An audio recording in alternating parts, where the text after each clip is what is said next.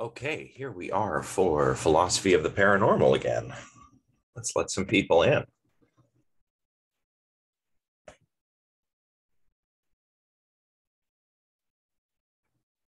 Like Baby Yoda.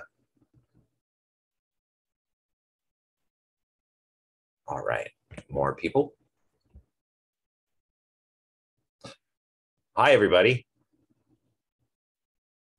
Hello. How's it going?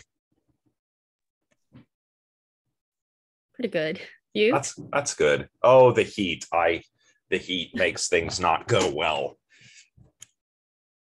So, hopefully uh uh, f- for the duration of the lecture anyway if you're watching live or if you're watching this later hopefully you're doing it from someplace cool um that's actually the reason why we're not having slides today i was doing my prep and i thought uh with the heat i said to myself um this feels too tedious today um what we could instead do is do things more like a seminar, more like how I imagine things will go or how I want them to go for the class discussions at the end of the term when we'll do like skepticism and belief change.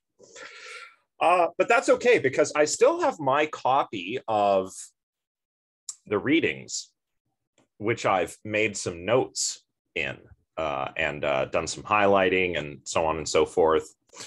Um, and if you've never done a philosophy seminar before, let's kind of just like you get together and uh, you get together and you talk about the material and you critique it together.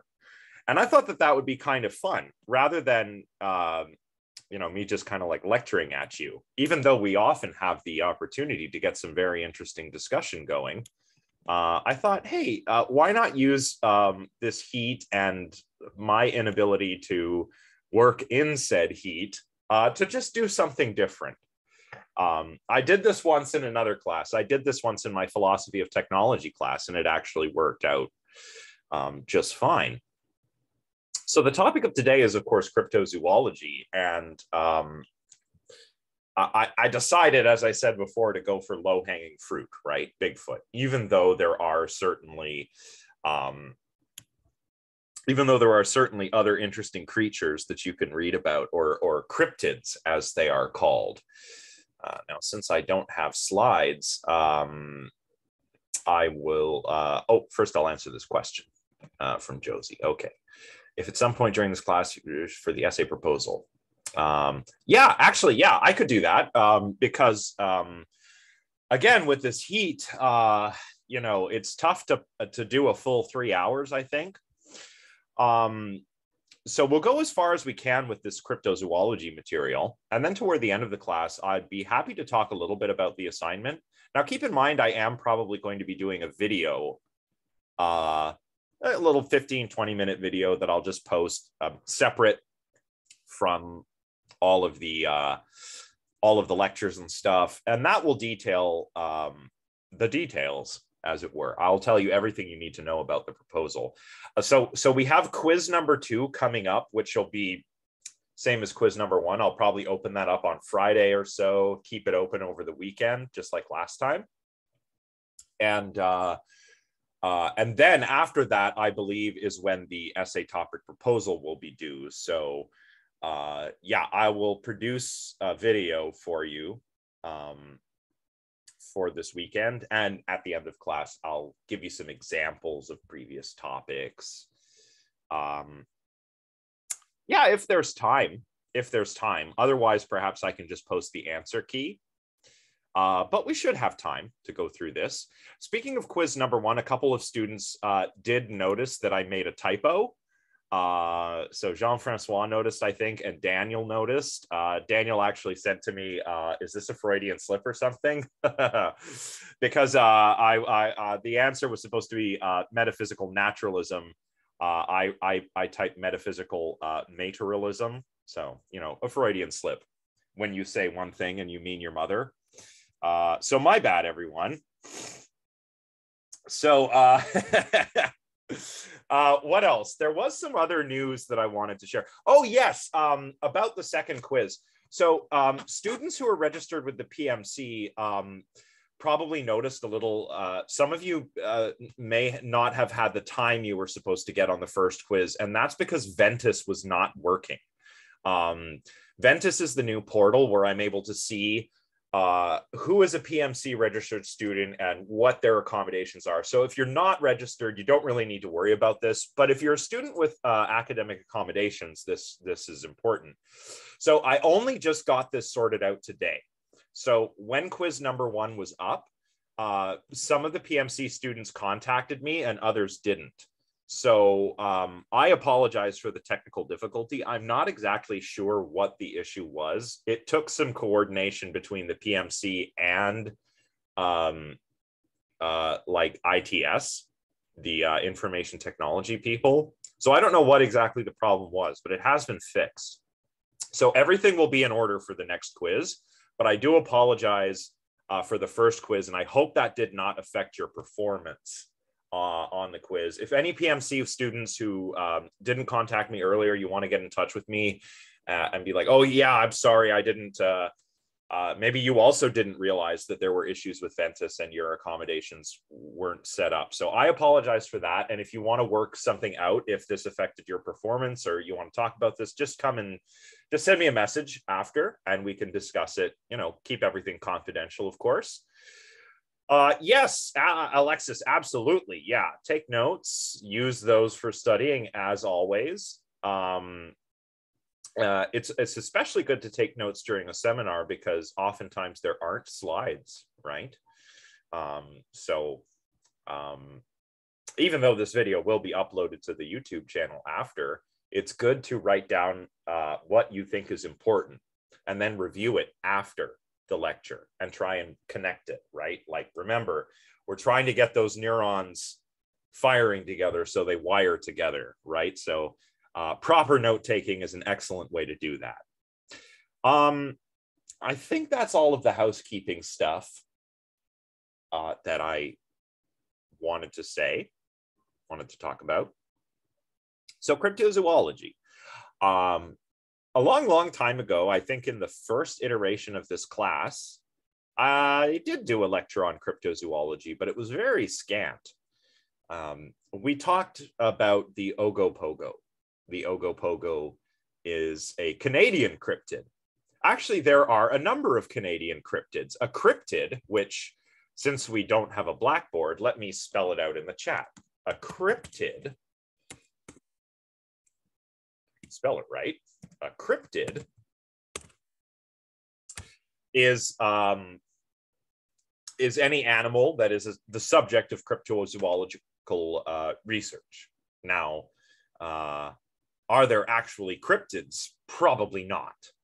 And an important thing to know about cryptids um, is that oftentimes they are not even uh, their existence is not uh, presumed or hypothesized based on physical evidence.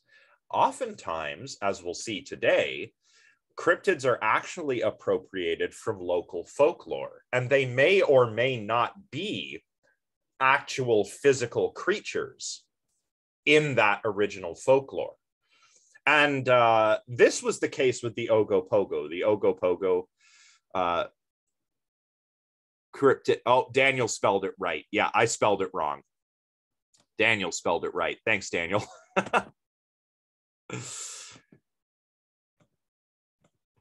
Little typo there. So yeah, just so, just so yeah, there. The, that's the right one. That's the right one with the exclamation point. Um, uh, and the the etymology there is uh, is interesting, right? So crypt, that's from an old Greek word that means kind of like hidden. Uh, it's the same. Uh, it's the same etymology of words like cryptography, for example, right? Uh, when we hide things by encrypting them with a code, or you can think of a crypt, just a just a crypt, like a like a grave. You know, that's also like you know a, a hidden place. You've been put away. So these creatures are are hidden as well or if they exist. Daniel, go ahead.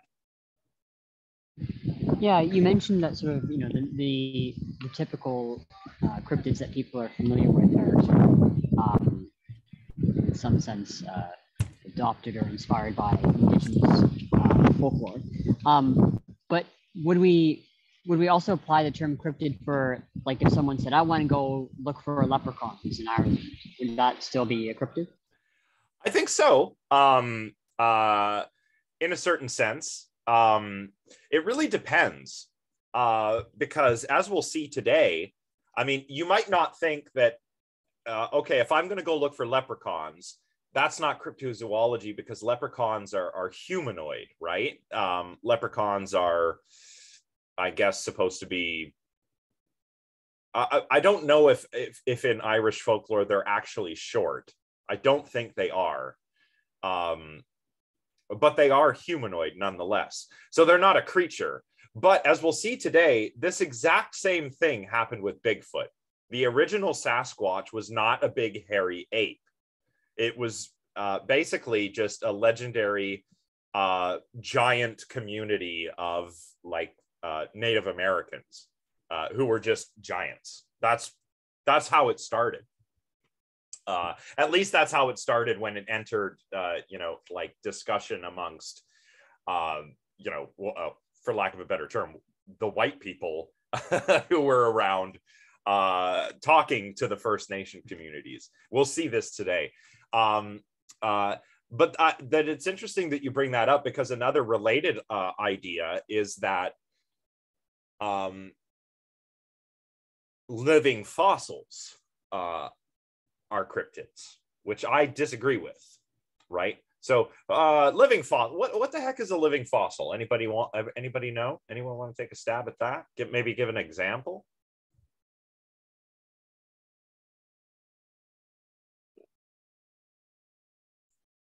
I want to just shout out birds and alligators. Somebody said sharks. Good guess. Those are all good guesses. Yeah. Right. Um, because uh, well, everybody knows birds are just dinosaurs, right? So, um, and I love how the science. I love how the science has come around on this, right? When I was a little guy growing up, uh, in in uh, in science class, it was birds evolved from dinosaurs, right? And I'm like, yeah, of course, uh, that makes sense to me. Uh, but now uh, birds are just dinosaurs. Birds are just avian dinosaurs that survived. Uh, sharks have been around um, for hundreds of millions of years, right? So they're living they're living fossils in a sense. And alligators, crocodiles, these are archosaurs. So these creatures uh, they're not dinosaurs, but they were around at the same time as the dinosaurs were, and they survived the mass extinction event that killed the non avian dinosaurs. So, those are all very good guesses. I would say that, yeah, in, in many respects, all of those do count as living fossils. Uh, but a, but the best example of a living fossil would be something that we only knew from the fossil record, uh, and then we found out it was still alive. And um, my favorite example is the coelacanth. The coelacanth is a type of lobe-finned fish that we only knew from the fossil record until the early 20th century, where they started to be caught. Uh, now, these fish live in very deep water.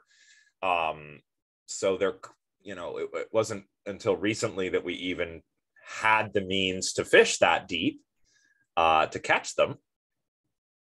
And um, when one was caught, it was realized uh, that, oh boy, there are still extant species of coelacanth. We thought they were extinct, but they've been around this whole time. Yeah, Jean-Francois, thank you. That it is a funny sound, a funny, a funny word to spell. So that's the coelacanth. Are jellyfish living fossils? I mean, it depends, right? This this is what the whole question of living fossil kind of um, centers around is that if we know something from the fossil record and then we go and find a specimen of it still living, um, how uh, how much has the living specimen changed? How much has it evolved from the original, uh, say, type that we know from the fossil record?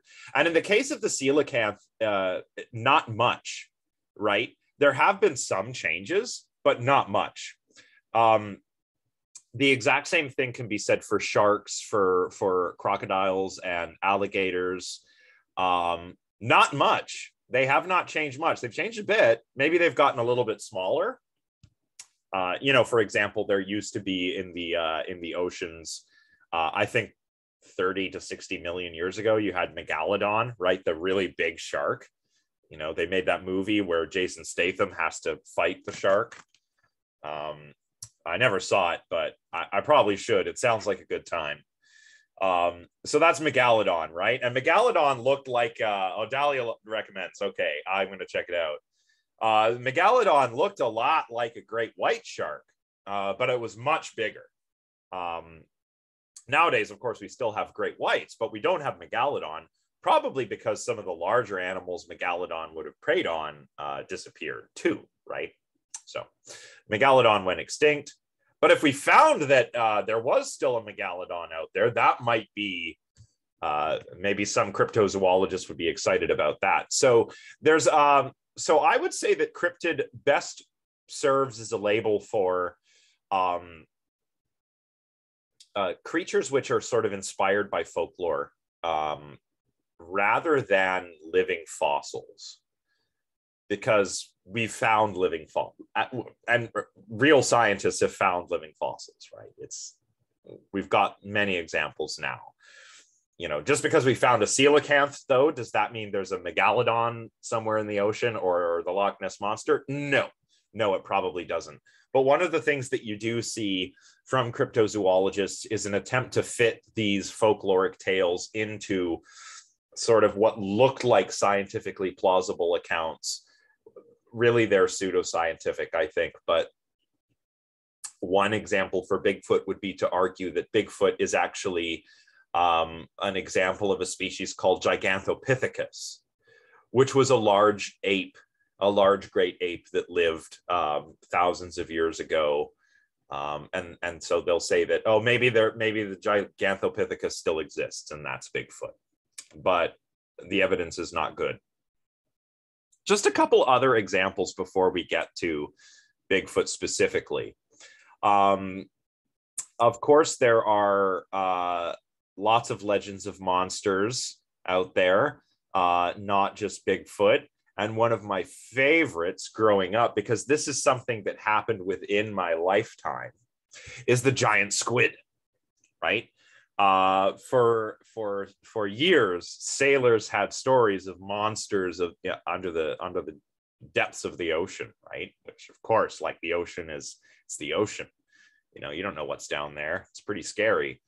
So there were legends of uh, creatures. You know, uh, the Leviathan from the Bible, right? Um, the the Kraken, uh, giant sea monster, right? Lots of examples and people would say, because sailors are a superstitious bunch, they actually are. Uh, and I know my grandfather was a sailor. He sailed in the um, he sailed in the merchant navy in the in the Second World War when he was a teenager, uh, crossing the ocean. Uh, uh you know, uh, slipping in and out of those wolf packs with those U boats, right? So, uh, you know, I know sailors. And um, some sailors are very superstitious. So you'd hear maybe a tall tale um, and think that, uh, oh, uh, maybe it's nonsense, but maybe there's something out there because the ocean is a deep, dark place. And for years, we we thought giant squids were just nonsense. Uh, but there was evidence for them, indirect evidence. Um, the sperm whale which is the largest of the toothed whales. It looks like Moby Dick. It's that one with the flat head, you know, the big, long, big giant whales, right? Now, these whales dive very deep into the ocean and they feed primarily on mollusks. So they're going after squids, octopus, nautilus, stuff that lives way down deep in the ocean. And uh, whalers would sometimes find these giant beaks, the beaks of the giant squid in their stomachs. Also, they would find evidence of uh, fights uh, by finding these scars on the whales that were the, the scars left from the suckers on the shrimp's tentacles.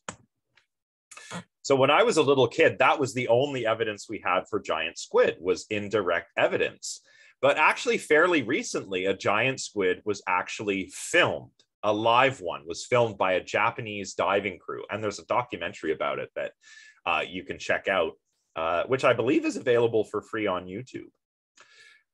Um, and of course, there were some specimens in the interim that had washed up. So it, it was interesting. For a while, it was just tall tales, indirect evidence, dead specimens, and then finally proof of a living giant squid, which are impressive animals. Their tentacles can be like 30 or 40 feet long. It's really neat. Um, same with mermaids. I mean, there have been um, stories of mermaids since antiquity, and uh, mermaids are, um, at least in the age of exploration, people would see sea creatures like manatees and dugongs uh, and and mistake them for mermaids. Um, so there's there's some more examples of uh, how confusing this can all be, right? You have cryptids directly from folklore, which I think are cryptids properly conceived. Um, you have living fossils. Um, you have the sort of mysterious creatures that you have indirect evidence for. Um, and then you have actual creatures that, you know, it's kind of like a backwards cryptid, where instead of taking a creature from folklore and trying to find a scientifically plausible account, uh, you see something that's natural, some some just some animal, and associate it with um, something from folklore, like mermaids. So um, so there's a little bit about cryptozoology. Um, I decided to do Bigfoot rather than the Ogopogo, though, because there's a lot more out there on Bigfoot. Um, uh, but as I said, Ogopogo is not the only Canadian cryptid. Uh, Ogopogo is um, is, is based on. Um, it's really, I think, drawn from a from a spirit uh, from the from the folklore of the indigenous people that live in British Columbia. I, I forget the exact area, um, but there's also uh, reported to be a monster in Lake Champlain. Um, so, you know, Lake Champlain, uh, probably a bit of a touristy area, right? Uh, it was on the route of like Jacques Cartier and Samuel Champlain and all those early uh, French explorers. Uh, they, they came to Canada or what would be Canada And they met up with the uh, First Nations and uh, they started exploring and trading and and yeah, Champlain is well known for that. Um, but of course, Sasquatch is also, uh, I think you can argue, a Canadian cryptid uh, because the origins of the Sasquatch are actually in British Columbia. And we can take a look at that now. Uh, Bigfoot is kind of an American term. Sasquatch is um, Sasquatch is the original uh, the original term it's probably a corruption of uh, of a of an indigenous word. Uh, unfortunately, the author of this chapter does not tell us what that word is, but I just thought I'd highlight the important bits that I want to raise with you all uh, today. Uh, this this book by Loxton and Prothero is interesting because um, one of the authors is uh, is a skeptical investigator who used to uh, believe in cryptozoology when he was a little kid. You know, as many kids do, uh, reading those uh, strange tales and unexplained mysteries books. I even read some of those when I was younger, and they are quite compelling. So, a lot of kids, uh, I think, are are curious about Bigfoot. And uh, as he grew up, he became more skeptical. So he's not here to um, um, be antagonistic or provocative. He says, I explain that cryptozoology is my first love. It was my youthful obsession, uh, obsession with monster mysteries that led me to the skeptical literature in the first place. And I've never lost my fondness for the topic. I don't think of myself as picking on cryptids, uh, but as making an all too rare effort to solve cryptological mysteries. And I like that because um, I mean, people have these experiences. These are all anomalous experiences. People see things that they don't understand. Um, and I want to explain that, even if that explanation is not that they saw what they think they saw, right? So um, that's great. The chapter starts out with uh, you know, getting the reader uh, oriented. Um, our author here um, tells us about how he once found a Bigfoot track. Uh, this is, of course, when he was young. Um, his parents were silviculturalists, so they're taking care of trees, planting trees, and they're hanging out with lots of hippies. And uh, it was not uncommon for uh, for the adults to try and prank the kids. Uh, so you know, I found a Bigfoot track, but now I don't think it was really Bigfoot. It was probably somebody having a laugh. Um, but you know, uh, that's great. Um, it sounds like a really great uh, sounds like a really great way to spend your childhood actually running around in the forest and just exploring nature and stuff like that so where did this idea of bigfoot come from and and i'll tell you right away that um, as i was reading this i was actually surprised i didn't know any of this because i've i've never covered bigfoot in in one of my classes before but where did the legend of bigfoot come from and how has it changed? Uh, because uh, as the author asked, has the legend changed over time?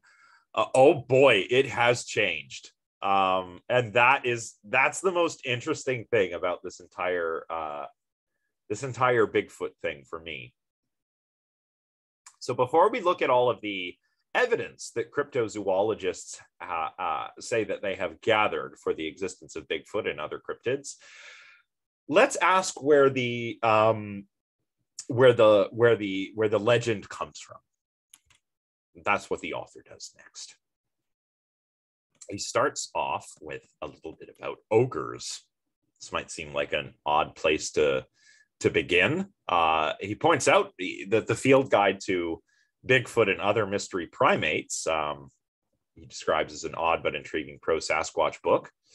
Um, Ooh, I'm glad you mentioned that. Let's get, we'll bring let's get back to that in a moment. Uh, but the Wendigo, yeah, that's interesting. Um, so um, we have this book that uh, describes lots of humanoid creatures, including Sasquatch and the Yeti, and um, there are there are really there are humanoid monsters all over, uh, right? In in I guess in um, like a Germanic language like English, uh, we'll describe them as ogre. Ogre is is etymologically related to orc. So orc and ogre are are both kind of they're both cognates of of uh, of the same. I don't know what it would have been. Old, it would have been an old ancestor language of uh, of English and and German and and Norse and all of those languages. Um, but you know, like a giant, uh, a monster, a humanoid monster. And actually, in this book, they include Grendel from Beowulf. So, uh, uh, first of all, who's Grendel? Anybody read Beowulf? Oh no, Daniel, go ahead. He was like a sort of an ogre slash troll monster that I think lived under the sea, and Beowulf had to slay to protect this town. Yeah, exactly. Um, Grendel keeps attacking uh, the town where Beowulf lives, and Beowulf has to slay Grendel, and then, uh, then I think after he has to fight Grendel's mother, um, who's also like a dragon or something. So you know, old old epic uh, poem. It takes place, I believe, Beowulf is. Um, well, the poem is in Anglo-Saxon. It's actually the oldest complete poem in Anglo-Saxon that we have. Uh, but Beowulf himself um, is actually from uh, Jutland, which is modern day Denmark. Um, and this is because the Anglos and the Saxons and the Jutes that's where they came from when they went to England. They migrated to the British Isles after the Romans had uh, pulled out of there. Um, uh, the dragon was later. Oh, okay. So uh, yeah. Um, so, but lots of monsters in that story. Grendel, Grendel's mom, a dragon. But Grendel is is treated as a mystery primate. What does the author say about this? Uh, this seems like an outrageous stretch but it does help to spotlight an important truth. Fantastic tales of humanoid monsters, ogres, and wild men were common in almost all cultures for thousands of years before the emergence of a canonical portrait of Bigfoot. It is natural that giant lore should be a universal feature of human storytelling. After all, giants are the easiest monsters to imagine bigger, stronger, and wilder versions of ourselves. And yeah, this is true. Every, every single culture has some kind of uh, giant or wild man uh, beast in their lore. And is that because there are some kind of uh, giant creatures, giant humanoid creatures that really exist? Maybe not. Maybe it's more to do with psychology. I mean, remember how I said that if you wanted to understand, uh, for example, myth and folklore and art, Freud is a great place to go.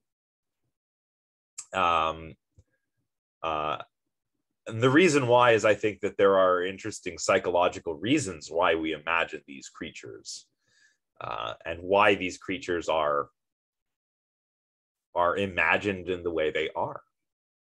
Not only, I mean, just for example, uh, not only do uh, all cultures seem to have some kind of giant lore, but um, also dragons. Dragons are also very common.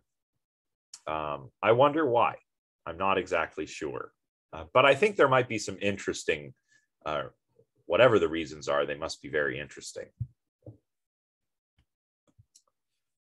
So a lot of um, a lot of um, Native American folklore features creatures like this um, that may or may not be corporeal. Uh yeah yeah like dragons or giant snake birds. And and okay so and here's the interesting thing is how in the west um dragons are bad you don't want a dragon you have to fight a dragon you have to slay the dragon that sucks uh like um like Jensch mentions the Ring trilogy, which is an old bit of Germanic folklore, uh, where Sigurd has to fight the dragon Fafnir. Fafnir used to be a dwarf, um, but then he became a dragon. Um, so uh, you have to slay the dragon. Um, but in the East, dragons are lucky, right? Um, uh, like in China, uh, dragons are good luck. So uh, I, I I really like um, I really like that. I, I, I think that's neat. Uh, so dragons are kind of uh, magical and and and good luck, uh, symbols of good luck in some cultures, uh, but they're uh, in others they represent monsters that need to be slain. So I think that's interesting. Um, so Native Americans uh, tell stories of ogres and wild men. This is, of course, common to all cultures and and all of the uh, indigenous peoples of the Americas are, are, of course, no exception to that. Um, some of these, like the Wendigo that Daniel mentioned, uh, they're non-corporeal, right? They're not they're not believed to be physical, uh, natural beings. They're supernatural beings, um, and some may be able to go back and forth. Uh, many uh, many cultures. Uh, including some Native American ones, have legends about shapeshifters, for example. So shapeshifters can change their shape. Um,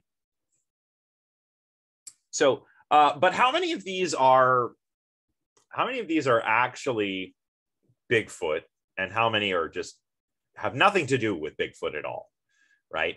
That's, that's the thing.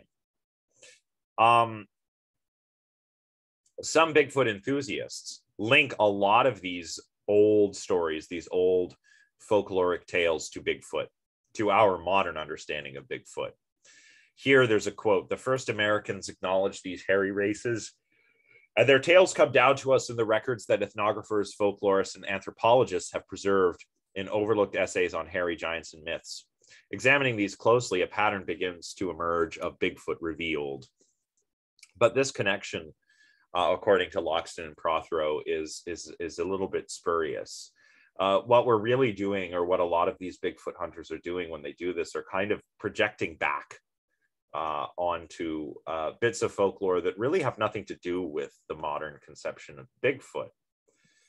Um, one example here uh, is that Bigfooters uh, cite tales from Eastern North America, uh, where the people have legends of um, man eating giants whose bodies are covered with stones. Um, okay, so that's a giant humanoid monster, uh, but it's nothing to do with our modern conception of Bigfoot, which is supposed to be a big, hairy primate, right? Uh, these are also cannibal wizards, apparently. Um, they eat people and they they have magical powers. They can use talismans to um, uh, to find humans. So these creatures are uh, linked, uh, or tales of these creatures are linked to Bigfoot by Bigfoot researchers. But th- these creatures are, are are clearly nothing like Bigfoot. So there are other human forms, uh, humanoid monster forms that are linked by um, cryptozoologists to the modern conception of Bigfoot as a very tall, hairy primate, which are nothing like, once we read these accounts, they're nothing like uh, our modern conception of the Sasquatch. Um, so, okay, so there are underground dwarves or people described by the Twana of the Skokomish River. So are those Sasquatches? Well, probably not. I mean, they're they're underground dwarves. Dwarves, uh, uh, dwarves always live underground. That's that's interesting too. The dwarves love to dig. Whether you're talking about Tolkien or whether you're talking about um, old Norse stories, dwarves like to live underground. That's interesting. Wonder what they're doing down there. Um, the stone stealing wet cedar tree ogre um, or the soul stealing wet cedar tree ogre. Is that Bigfoot? Probably not. Uh, the giants, the uh, Quinault people of the Olympic Peninsula, uh, describe giants that look almost the same as people. Are they Bigfoot? Well, uh, they don't sound very Bigfooty to me, especially because they have this six foot long spike growing out of their foot and uh, as Ronald Olson uh, deadpanned here, if a human is kicked with this, he will likely die. That doesn't sound like Bigfoot, right? So, what seems to be happening is uh, a little bit of cultural appropriation here. What we've got are Bigfoot enthusiasts and Bigfoot researchers uh, sort of going in and cherry picking, or not even cherry picking in some of these cases, but just just straight up appropriating um, uh, folklore about humanoid monsters and saying, "Oh, that's evidence for Bigfoot. Bigfoot is a large humanoid, uh, and these monsters uh, from folklore are large humanoids. Therefore, they're talking about Bigfoot." But they're not. Um, uh, they're not with uh, th- these creatures are all very different from Bigfoot in their descriptions here, right? Uh, so that's a problem let's see. Um, this bit reminded me of the Sandman, actually. Um, the cannibal ogress. Uh, let's. Uh, oh, I have to move this. So we've got a cannibal ogress. Um, let's see. Uh, right. So the author tells us here that in the Pacific Northwest, um, people believed in some Sasquatch like creatures, as well as this uh, cannibal ogress, um, which is displayed in that totem there. I'm, I'm not going to try and pronounce that because I'm going to not get it right.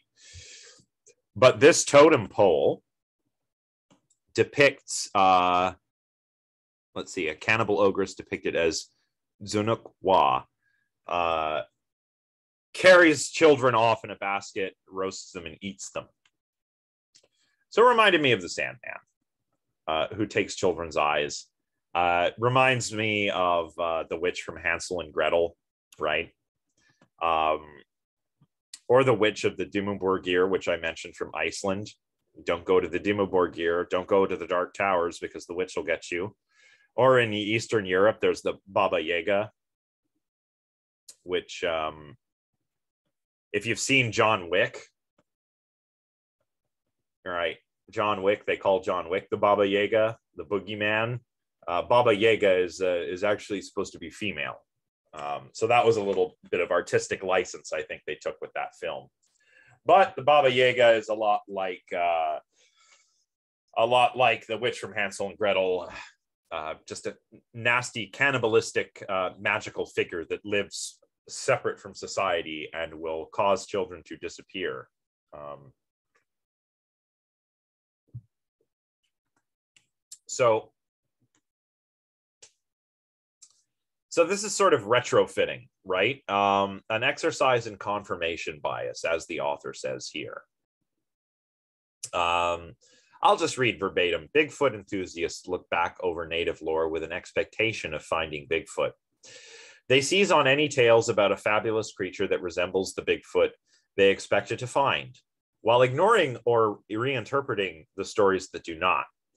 Then, having projected a modern Bigfoot into disparate Native legends, enthusiasts make the circular argument that Native American traditions confirm the existence of Bigfoot. So, this is a problem that we've got right off the bat. Uh, is is um, is that there are biases at play amongst uh, Bigfoot researchers, and also we've got a little bit of cultural appropriation going on. Um, I think this is an interesting opportunity to talk about why appropriation is problematic because, I mean, this book uh, was published in 2013, uh, and that was before that term really entered um, the, um, I guess, the everyman's vocabulary, right? Uh, nowadays, uh, you know, uh, people know this term, they've heard it. Uh, when this book came out, this this word would not have been a part of everyday parlance. What is problematic about it and what is it? Is it just taking something and doing something different with it, or is it something worse?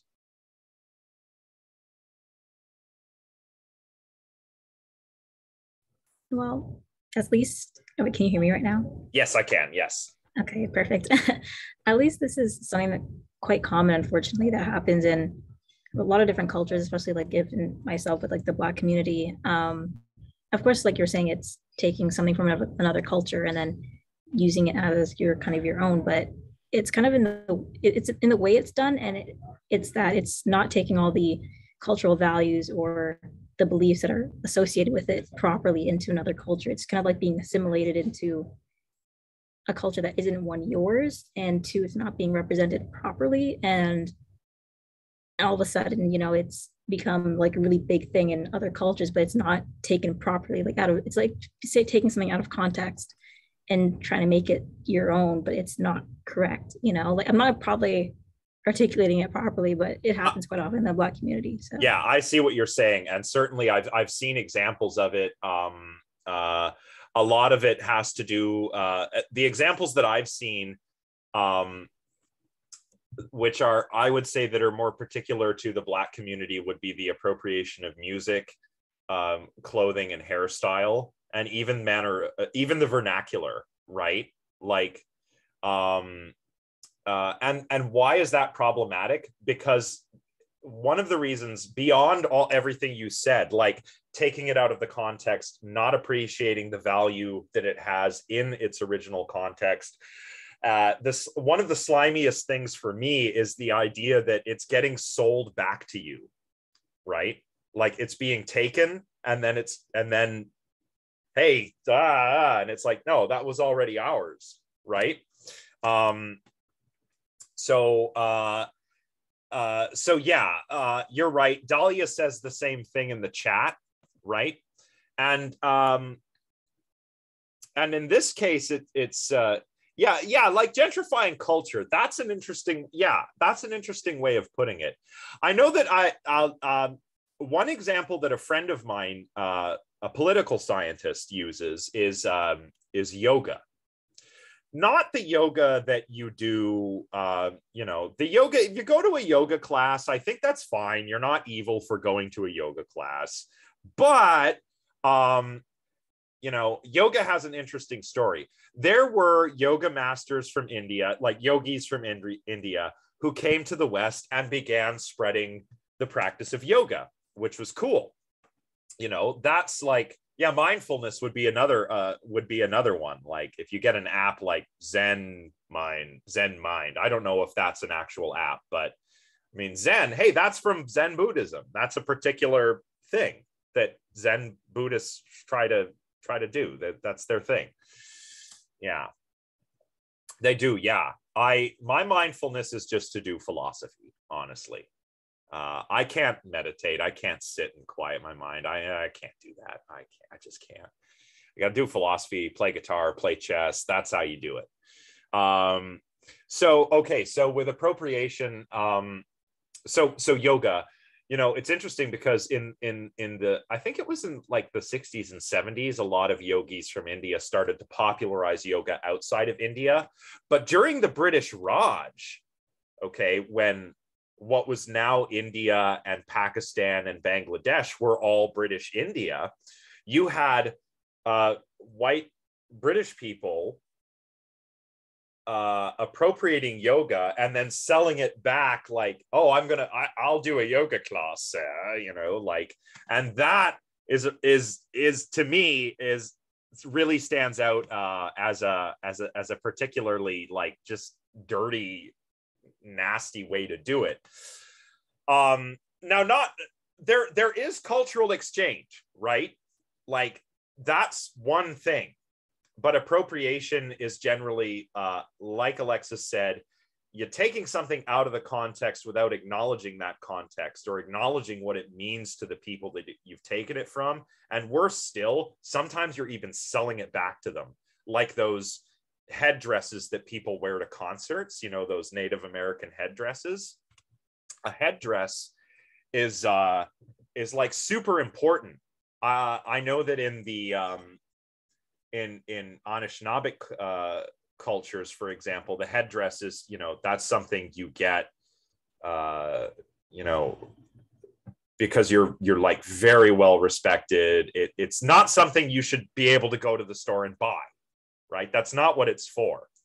Um, and and and it's being marketed by white people like here wear this headdress and go to a concert and it's just like oh come on man yeah you can find them in gift shops it's uh it's really kind of gross like i don't like it um you know uh jean-francois you've had your hand up forever sorry go ahead oh, no worries yeah um i just uh personal experience I've seen both sides of that coin. And then again, like you said, the gift shop analogy. I have a friend who's in Navajo uh, down south in New Mexico, and they just they totally capitalize on it. You know, they have their own little trinket shops and what have you, and they kind of play into it. I guess capitalism for some wonderful things to you know moral values and cultural views, yeah. right? Um, it's funny because I guess appropriation could be determined by you know the, the beholder, the subjective take on things like we could look at like the movie All Dogs Go to Heaven, right? There's that. what I don't know if you guys have seen that movie. There's like a little Spanish Chihuahua plays into like basically every Latin American stereotype you can think of. Oh um, yeah. But, okay. Yeah. Yeah. Wasn't lambasted though. Actually, was a perp like appreciated by the Latin community, and like they thought it was just a, a good kick. Like, it was good fun. Yeah. Um, in I, Quebec. Oh yeah. Go ahead. Sorry. Go ahead. Yeah. Go ahead. Okay. Um, in French too, like I see two sides of that with family in France as well as in Quebec. Uh, in Quebec, I think a lot of you know there's like the language police over there, and they're very stalwart about keeping their French. Um, so in France, you know, they don't care. Like they they're all about the evolution, you know, and oh, the yeah. acceptance of like new things. Uh, um, uh, I no agree. culture forever. exactly. Yeah. I, I yeah, like I, I mean, I see what you're saying. I don't want to say Yeah. a lot, I because I am like such an anglophone. Like I'm Anglo Canadian. Uh, I I lived in Quebec for a bit. I tried my best. Okay. You know, I would go to the Yeah. store and you know I speak French and and of course they know. So that, oh, that's okay. You don't have to speak French. You know. So I never learned Yeah. French.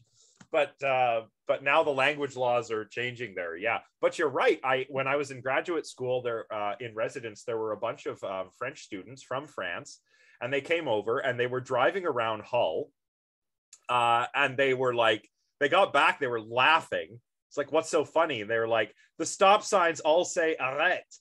And I'm like, well, what what do they say in France? Like they say stop. Like exactly. Yeah. you know, Or so like I- um yeah. So I, I thought, talk to my yeah. yeah. They think that the French that we speak over here is, is very cute or mignon, as they say. Like they they don't call they don't call shoes soulier. Soulier is like a very old old you know term. Uh, they just call them shoes or kicks.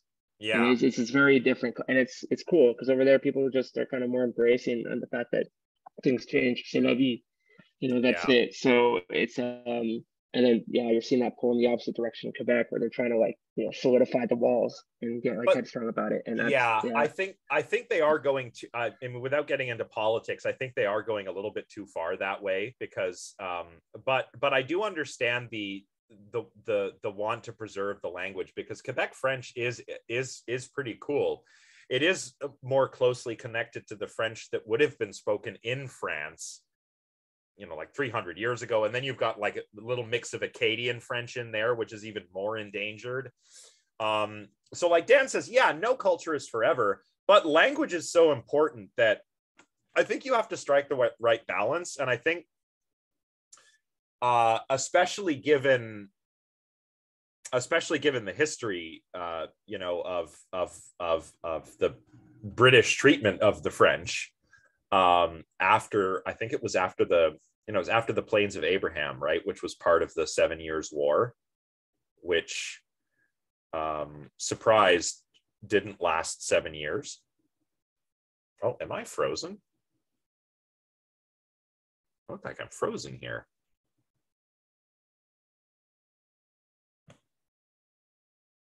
Oh, gosh, it was just too hot. Oh, he's back. Okay.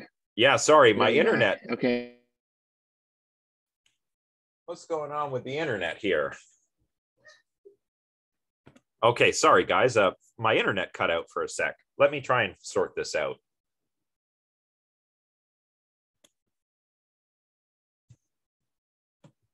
Do I have something running? I think I might have something running, but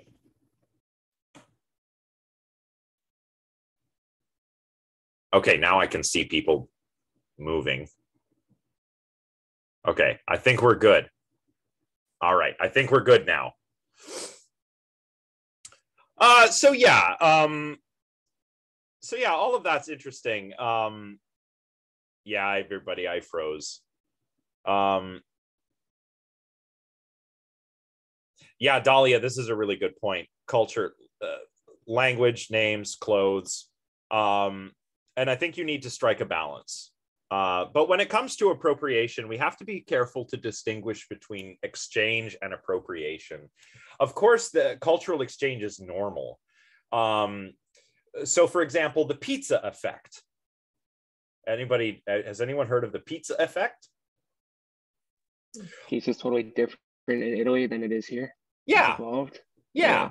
It's it's just naturally evolved, and nobody is trying to go back to Italy and say uh, this Chicago deep dish is actually pizza and not yours. Uh, everybody just recognizes that pizza has kind of evolved.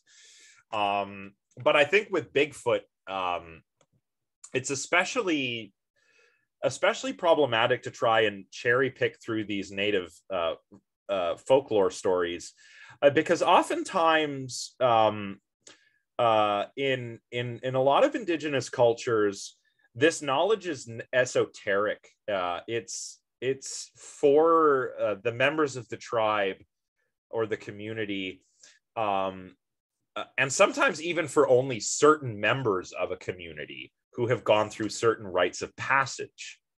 Um, so it's it's not for outsiders to know some of this stuff. So that's also why this is a little, you know, uh, it's a little shady to me, right? But with that in mind, we can appreciate where the Bigfoot myth sort of grew from. Uh, it does have its roots in some very specific stories uh, of the uh, indigenous people that live on the west coast of Canada. So in the 1920s in the Fraser Valley, this fellow, John W. Burns, reports of Sasquatch. Uh, he coined this term as an anglicization of the word that was spoken by the, uh, let's see, the Halkomelem language. It's in the Halkomelem language of the Coast Salish people. Um, so unfortunately, that original word is not given here. So even the word Sasquatch is is kind of a bastardization of of uh, of an actual word that unfortunately I don't know what it is. Um, so there were these Sasquatches, these reports of Sasquatches. Um, but what were they like? They were actually quite different from how you probably think of Bigfoot now. Um, so this Burns fellow was a school teacher and a bureaucrat, and he worked on the reserve, um, kind of near Harrison Hot Springs.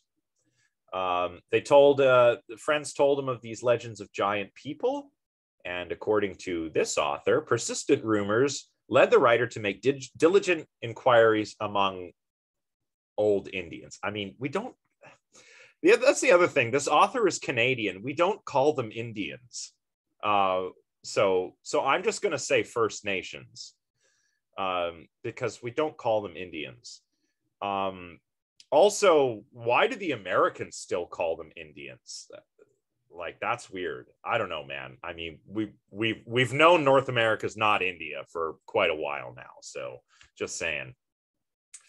So uh, he found these uh, accounts among uh, the elders. It sounds like it would have been the elders in the community um, of of uh, men who had seen these hairy giants. So to us now, hairy giants sounds like Bigfoot, right? Oh, Dahlia, awesome. Seskek, Sesketch. I'm not sure how that would be pronounced, but yeah, very good. Okay, thanks. Yeah, Daniel, I guess so, but um, I guess the underlying reasons, uh, you know, I don't know uh, yeah, I, I, I don't know. If I were, I, I probably would want to be called a first a member of my community of whatever First Nations community. Um, but I'm not. So, uh, so okay. Uh, hairy giants. What does that sound like? Well, it, I guess hairy giant. If you picture a hairy giant, you might picture something that looks a bit like our modern um, picture of Bigfoot does, you know, an eight foot tall, very hairy, you know, kind of almost like Chewbacca from Star Wars, really. That's, that's how I imagine Bigfoot. But the eyewitnesses actually all describe uh, these giants as men. The Sasquatch with which Mr. Burns' readers were familiar were basically giant Indians, giant indigenous folks. Although avoiding civilization, they had clothes, fire, weapons, and the like, and lived in villages. They were called hairy giants, it is true, but this was taken to mean they had long hair on their heads, something along the lines of today's hippies. So these were just giant, wild people who were believed to live in the woods uh, with magical powers. uh, well, yeah, I mean hippies are all grandparents now at this at this at this point in time, right? So um here's an interesting account here where a fellow claimed to have accidentally shot a young Sasquatch. So he examined this injured boy, and then an older wild woman came, maybe his mother, and she had really long hair which fell down uh, to her waist. Um, uh, Victor was talking with this woman, and uh, then she performed some magic and healed the boy. And uh, and this mel- this man said, because she spoke the Douglas tongue, these creatures must be related to the Indian. I'm sorry about all the anachronistic um, modes of speech here, everybody. Uh, but yeah, that's another thing we don't really do. We don't put the definite article in front of uh, a description of a kind of person anymore. Uh, you know, it, it it does not sound good. It makes everybody look. It's othering. It makes everybody look the same, right? Like, so we don't do that anymore. Um, this one's the worst. I, I I put here. I, I I think this is absolutely whitewashed by Burns. Um, he quotes a speech uh, that he says was given to a crowd of 2,000 natives uh, from the Chehalis tribe. Um, to all who now hear, I, Chief Flying Eagle, say, some white men have seen Sasquatch. Many Indians have seen Sasquatch and spoke to them. Sasquatch still live all around here. Uh, okay, I mean that just sounds uh, that sounds very whitewashed to me. That sounds like how Native American characters used to speak in old westerns. Uh, that's not how people talk. Uh, but nevertheless, maybe there's a grain of truth that um, the people uh, in this community believe that there are Sasquatch out there. It's just that the Sasquatch are giant people. They're not giant apes or beasts. They are just really big humans with magical powers. So that's actually the original. Um, th- that's the origin, surprisingly. Uh, with, uh, and I did not know that prior to reading this book. Uh, so I find this fascinating. Uh, how did how did the change happen though? How did we go from giant person to animal? Well, it's it's interesting, and it actually has to do uh, first with a rise in popularity of the idea of the Sasquatch, and then purported sightings, and also probably racism. yeah, um, it's true. Uh, that's a really good point. The native peoples here are saying, "Oh yeah, they're Sasquatch. Um, they're they're big magical people that live out there. So that they're they're just a race of giants uh, with powers." Um, but then the white people come along and say it's an animal, it's a cryptid of some kind. So again, another problem with appropriation is that appropriation has a, a you know a, a, a, big history of this too uh, when we're appropriating stuff, right? So we don't want to be uh, we don't want to appropriate stuff, and we definitely don't want to be racist. So Harrison Hot Springs, where um, Burns had collected these reports of Sasquatch. Uh, in the late 1950s, um, they were trying to get some funding to help celebrate the centennial of British Columbia. So at that time, British Columbia as a province was only 100 years old, and they could get $600, which in 1957 was a was a good chunk of change, if they could propose a project. And their proposed project was a Sasquatch hunt. Now, um, this never they never got their funding um, but it blew up. This story kind of went viral. Uh, you know it was like one of those viral news stories like before the internet. Um, oh okay what's that? Uh, wendigo a moment ago and it suggested that similar attribution of animal features to the wendigo was influenced by the european legends of werewolves I suppose it's possible. I don't really know. I don't know enough about the Wendigo uh, to to really say much about that. Uh, it's possible. Um, um, so uh, this was a this was a marketing hit. It uh, kind of put Harrison Hot Springs on the map. Like, oh, there's Sasquatch. You can come and um, come and hunt the Sasquatch. Um, uh, let's see. Um, even here, noting that this publicity was direct was directly boosting the restaurant and resort industry, the newspaper urged locals not to express skepticism about Sasquatches to the visitors. Uh, so they have the Sasquatch hunt. Uh, lots of people are coming uh, from all over the world. There were reporters um, uh, coming uh, and and and publishing their stories as far as way as Sweden, India, New Zealand. Uh, so yeah, this really blew up. And so they didn't get the um, they didn't get their six hundred dollars, um, but it but it almost didn't matter because they because of the Sasquatch hunt uh, they were uh, awarding five thousand dollars to anyone who could bring in the hairy man alive. Uh, of course, you couldn't kidnap Bigfoot; you had to bring Bigfoot in uh, of his own free will. Um, so uh, yeah, it was just kind of this perfect storm. Um, uh, oh, Wikipedia, yeah, you have to be careful with Wikipedia. Um, so yeah, stories of Sasquatch in Harrison Hot Springs were spreading around the world, and there was a bounty offered to to anyone who could uh, bring Bigfoot in. Um, and uh, this is where some of the first uh, you know, real famous Bigfoot hunters uh, really got started, like Rene Dahinden. Uh, he he launched uh, an expedition to find Bigfoot in Harrison Hot Springs around this time, and and he kept on looking for Bigfoot for the rest of his life. But there were already hoaxes happening at this point. Uh, and and hoaxes are uh, unfortunately something that uh, sort of pollutes the data, if you like. Um, one team uh, went in to uh, find Bigfoot, for example. Um, they ran into some problems. They were uh, the, their their routes were obstructed by rock slides. They had a rafting accident, uh, so they weren't able to go and find Bigfoot. And when they got back, uh, they said, "You know what? We were just going to fake some Bigfoot tracks uh, with these plywood feet." So, and plywood feet will come up over and over again throughout this chapter. All right. So,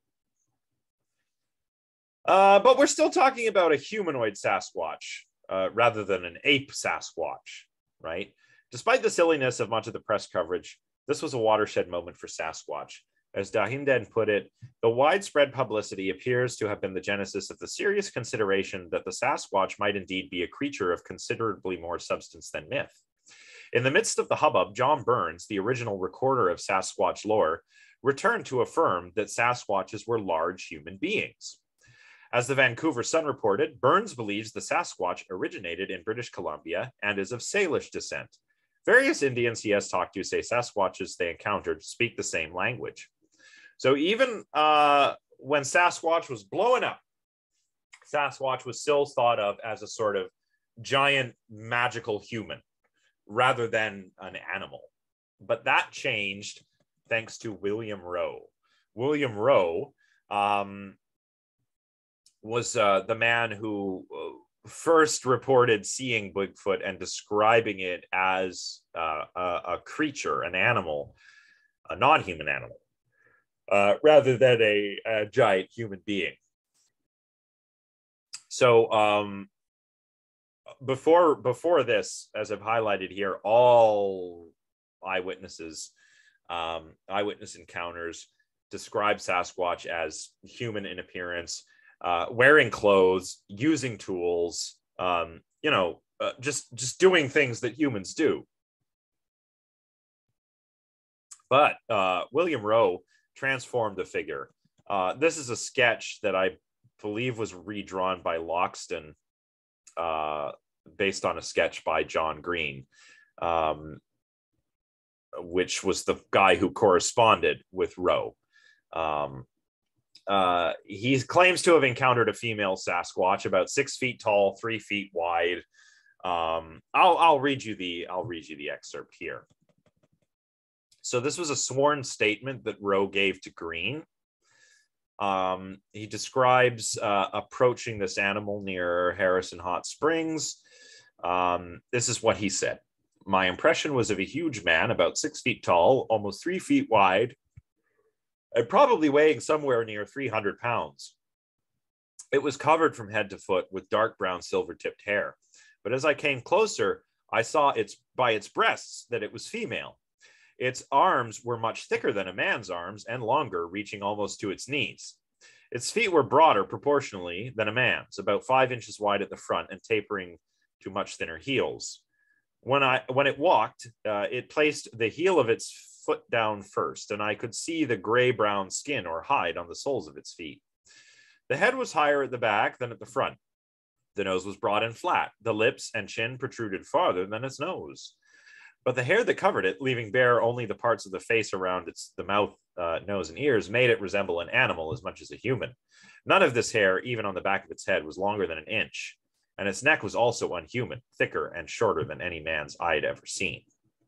So this is the first time uh, that Bigfoot is described uh, here in 1955 as a as a as an animal uh, rather than just some human, some giant human.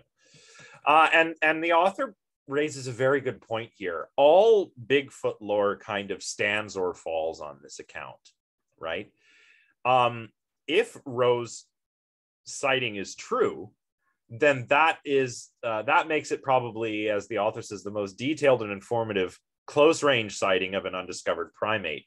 But if Roe just made this up, um, then a shadow falls on every other reported Bigfoot sighting since. It's a bit like it's it's a similar phenomenon to to, to the uh, to gray aliens, right? Uh, flying saucers and gray aliens. Everybody knows what a flying saucer looks like, and you're probably familiar with the idea of a gray alien from uh, science fiction, right? They have large heads, large black eyes. Uh, they're usually naked with grayish skin, right? They, sometimes they're just called the grays. Now, um, aliens like this uh, were featured in some of the first science fiction movies, and it was only after that happened uh, that people started giving descriptions of aliens during, you know, purported abductions and encounters that matched this uh, conception of the alien that came from science fiction films. The same thing seems to have happened here with Bigfoot. Uh, Bigfoot is a giant human until he's not, until he's an ape. He's given a given an ape-like description, and now all of a sudden, when people see Bigfoot, they see an ape.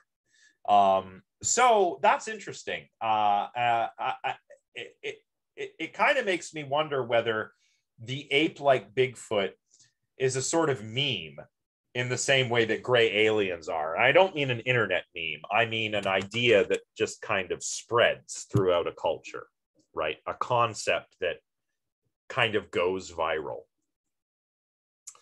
Um, but in any case, you know, if Roe made this up, then well, that means that a, a lot of Bigfoot research has to be thrown out.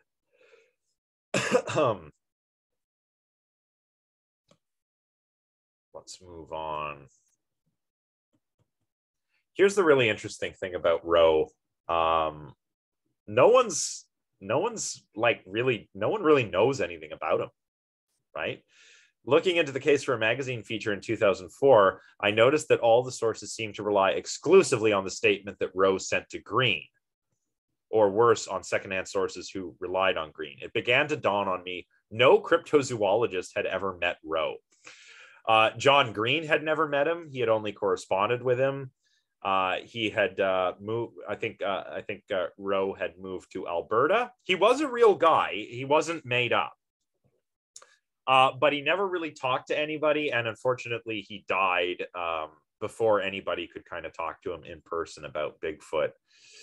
Um, and there's a lot of details to that to that effect throughout the rest of this chapter, but that is uh, that is just so interesting to me um, a sworn statement and then we can't find the guy who made the sworn statement. So immediately that to me says either there is no guy who made a sworn statement and Green made it up or the guy is is a crank. Um, we know that he did exist. Roe was a real guy. Um, so was he just perhaps telling a tall tale? Uh, well, that's how it seems to me, right? especially given that before Roe, the Sasquatch was not a giant hairy ape, it was a giant person, right? So that's a good one. Yeah, oh, puns are great. And also, yeah, maybe Roe himself is the actual cryptid here, like William Roe. Who is William Roe? Does he even exist? Um, someone you know maybe has filmed him walking through the forest uh, but uh, but we don't know there was a saturday night live bit that they did uh, just after just after the 2016 american election after trump had won and and and it was it wasn't finding bigfoot it was finding hillary clinton. Um she had just kind of, you know, understandably, I think she she took a, a step away from the public eye for a bit after that election loss, and um, and so they're just guys out in the woods with cameras looking for Hillary Clinton, and and of course, um, Kate McKinnon is just you know like doing the Bigfoot walk dressed as Hillary Clinton. it was a it was a funny sketch. I liked it. Um, so you know, uh, another interesting thing about Bigfoot uh, or, or, Sasquatch really is that for all this time, uh, and even though uh, tales of the humanoid uh, uh, version of Sasquatch had kind of reached um, various corners of the world, it was really um, it was really sort of I guess to paraphrase the authors, quaintly Canadian. It was a quaintly Canadian uh, thing you know, like the Loch Ness monster is, I guess, a quaintly Scottish thing uh, until 1958. Um, the Sasquatch would be rebranded as Bigfoot, and Bigfoot blew up in the United States, which is, you know, uh, a thing that happens sometimes. You know, Canadians uh, achieve success in America. Um, you know, uh, Sasquatch, Bigfoot, same thing happened apparently. And it all happened in Bluff Creek, California in the late 50s. And it was due to um, a construction contractor named Raymond Wallace. Um, he would find tracks around construction sites where he was working. And these tracks we know are, are, are, are probably definitely almost certainly fake. Um, uh, this is how it went down. Uh, a bulldozer operator named Jerry Crew had arrived at Bluff Creek, um, and he find these he finds these giant footprints stamped around his machine. Uh, he took them to be a prank. Um, after that, we get Ivan Sanderson, who related nothing further happened for almost a month. Then, once again, these monstrous big feet appeared again overnight around the equipment. Around that time, Mr. Ray Wallace, the contractor, returned from a business trip. So no tracks for a while, and then Wallace gets back and there are tracks again. Every morning we find his footprints in the fresh earth we moved the day before. Uh, Crew made a plaster cast of one of the footprints. Uh, they took that to the newspaper, and um, first newspapers in California carried the story, and then it got began to be picked up nationally. So we had these casts of these big feet. Um, but they were faked by Wallace. Uh, after Wallace died in 2002, his family actually actually revealed one of the sets of uh, big wooden feet that he used. They were just like strap-on plywood giant feet that you wear like snowshoes and walk around. Um, it's funny to picture him out there doing this um, uh, you know, walking around with giant wooden feet on, I think. Um, uh, and it must have really annoyed his coworkers too. Um, but yeah, this guy was a bit of a bit of a lifelong um, shady character, bit of a bit of a uh, bit of a trickster. So, if a known Bigfoot pants, uh, a Bigfoot prankster has his fingerprints all over a central case like this one, why is wasn't anybody in the Bigfoot Bigfoot uh, research community talking about it? Right to this day, you will still get books on mysterious creatures and unexplained mysteries talking about these tracks without acknowledging that they are known hoaxes, and that's a problem. Right? That's that's a problem. We can't do science that way. Yeah, yeah, it wasn't especially long yeah exactly i was just going to say that that's that's what they that's what uh that's what you do you you can just trot a little bit or um later in the chapter there's another set of fake tracks uh that appear to be going up a hill at a stride that no human could make but it was revealed that it was actually a high school athlete who made these tracks so we got somebody who's in pretty good shape he had the shoes on backwards and he ran down the hill so it looked like the tracks were going up the hill. So it's not hard to fake this stuff, right? So yeah.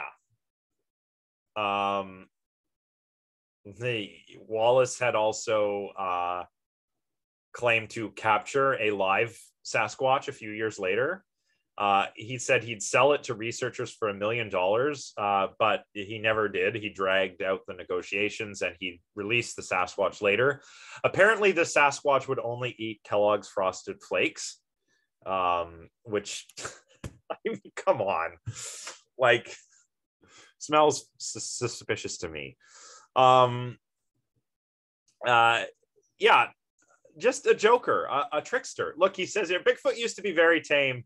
Um, as I've seen him on almost every morning on the way to work, he would sit. Uh, I would sit in my pickup and toss apples out of the window to him. He never did catch an apple, but he sure tried. And I just have this image of a guy in a Bigfoot suit trying to catch apples. Like it's so stupid but anyway, you know, it's fun. Like it's oh god, if if if I would say this is all quite harmless, except for the pack the fact that people really believe it. Um. Uh, anyway, um. So Wallace is uh, implicated in these tracks. So we know he forged them. And as I mentioned a moment ago, books uh, books either don't acknowledge that the tracks are fake, or they don't even talk about Wallace or or anything, which is really problematic. I mean, real books on science when you have a case of when you have a case of fraud in science, you don't ignore it, right? Um, remember I mentioned the uh, yes, they should do that instead of finding Bigfoot. Just, just I mean, if like if you're gonna if you're gonna hoax and you're gonna do a bad tv show just get a guy in a gorilla suit and just go like full oh we found bigfoot and make like a mockumentary out of it you know? Um just just do that.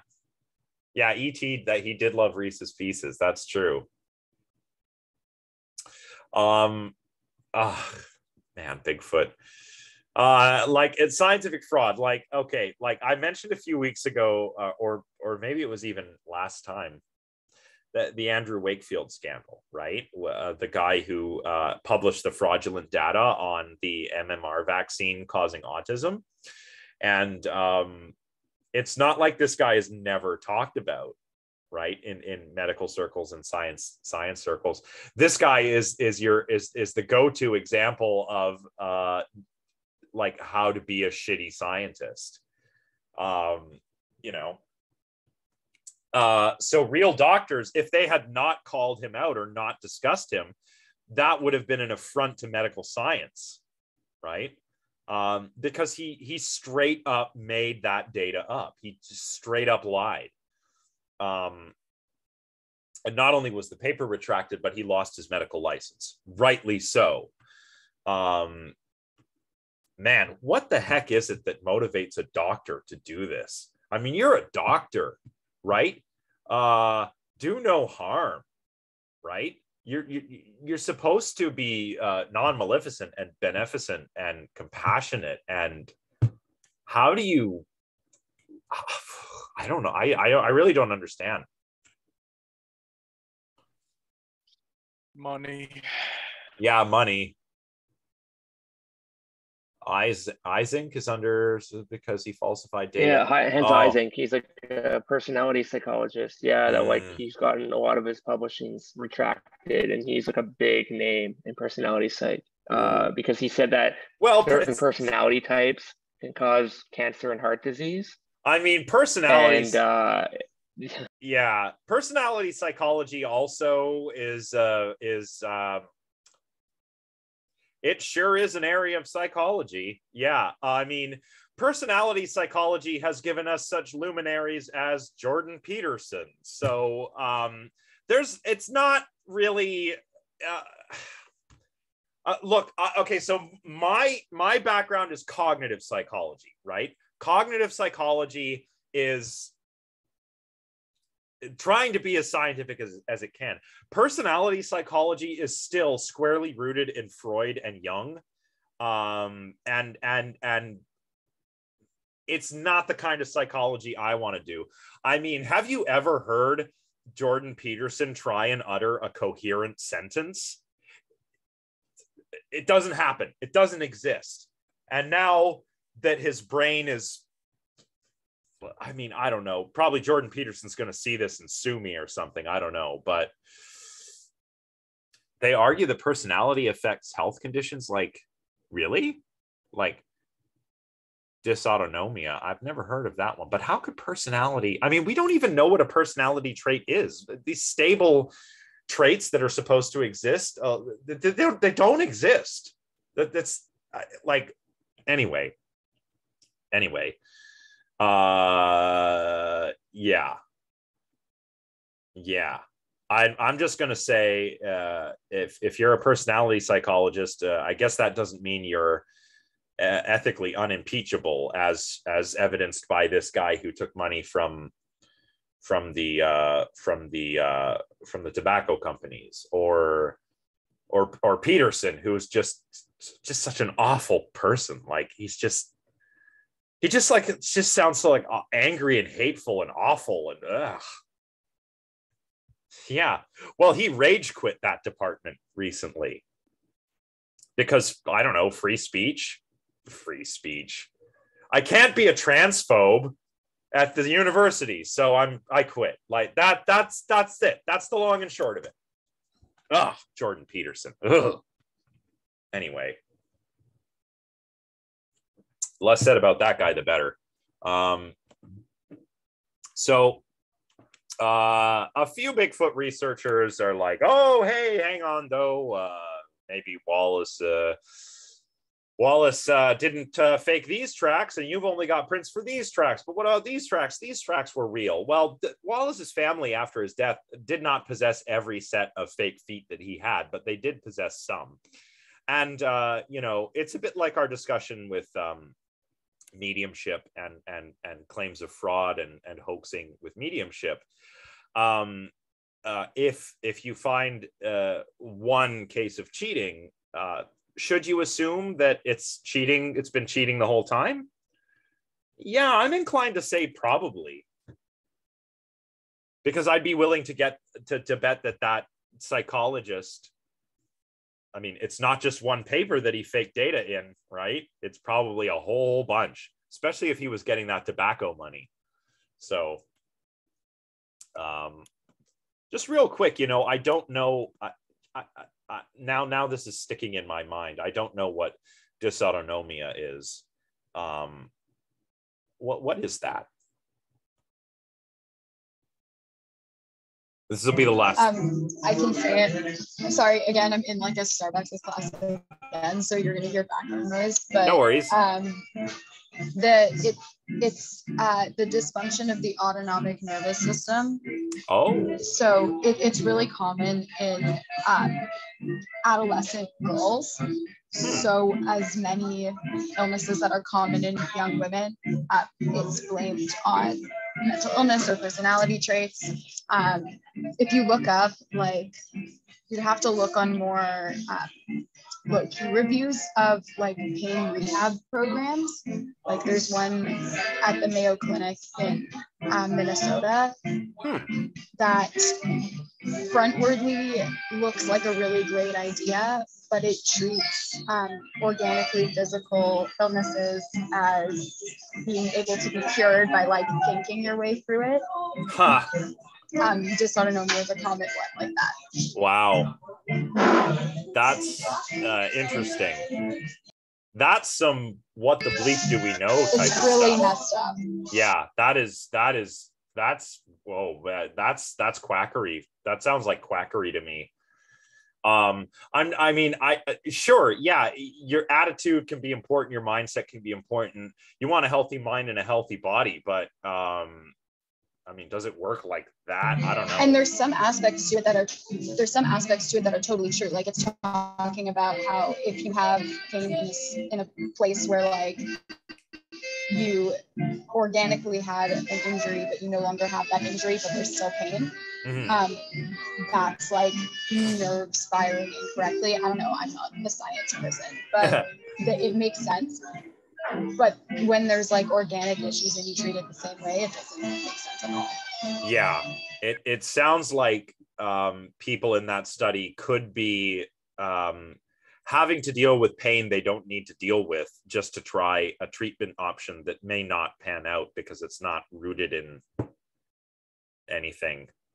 Uh, I guess we'll see. I mean, Absolutely. yeah. And that's why, I mean, you know, even if the study delivers a null result, there's still a question, there's still like an ethical question there, a research ethics question. Like, is it is it okay to do this? Um, Oh, it's not a study, it's a full-fledged program. the Oh, full- Clinic. oh my the God. Children's Hospital, yeah, the Children's Hospital in Ottawa is trying to emulate as well. It's like well reputed, but there's lots of reviews of from like people who have gone to the program saying that it, it's almost invasive. oh man. Oh see that's why that's why you gotta you gotta really have your uh, baloney detection kit. Uh we're to talk about that in our lecture on the importance of skepticism.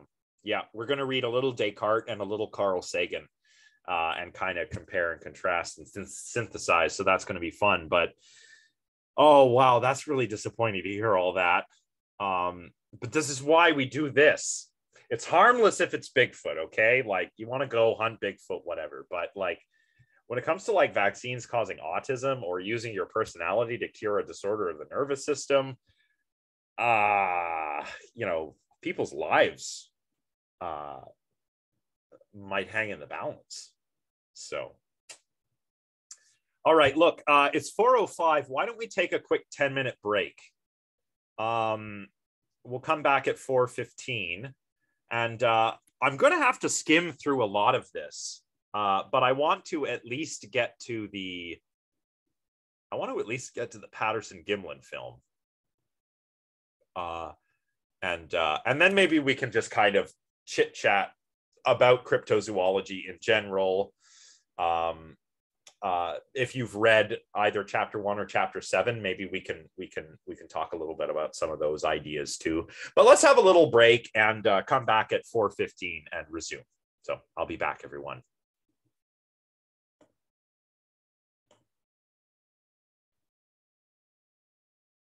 Let's pause the recording. All right, uh, I think it's about time we resume. Uh, I'm gonna put my phone down. Uh, okay, so yeah, boy, really good discussion so far. Um, the, what am I doing? No, I don't need to go there. I need to go here. Uh, and I need to share my screen again. Then we can get started. Yes. There we go. All right. Uh, let's try and get to that film. so so far we've been talking about the the, the you know what what cryptids are or what they are believed to be by cryptozoologists. We've talked about that. We've talked about uh, a number of examples of those. We have seen how the original Bigfoot or original Sasquatch myth actually has it that Sasquatches are just giant people. They're just giant indigenous people with magic powers.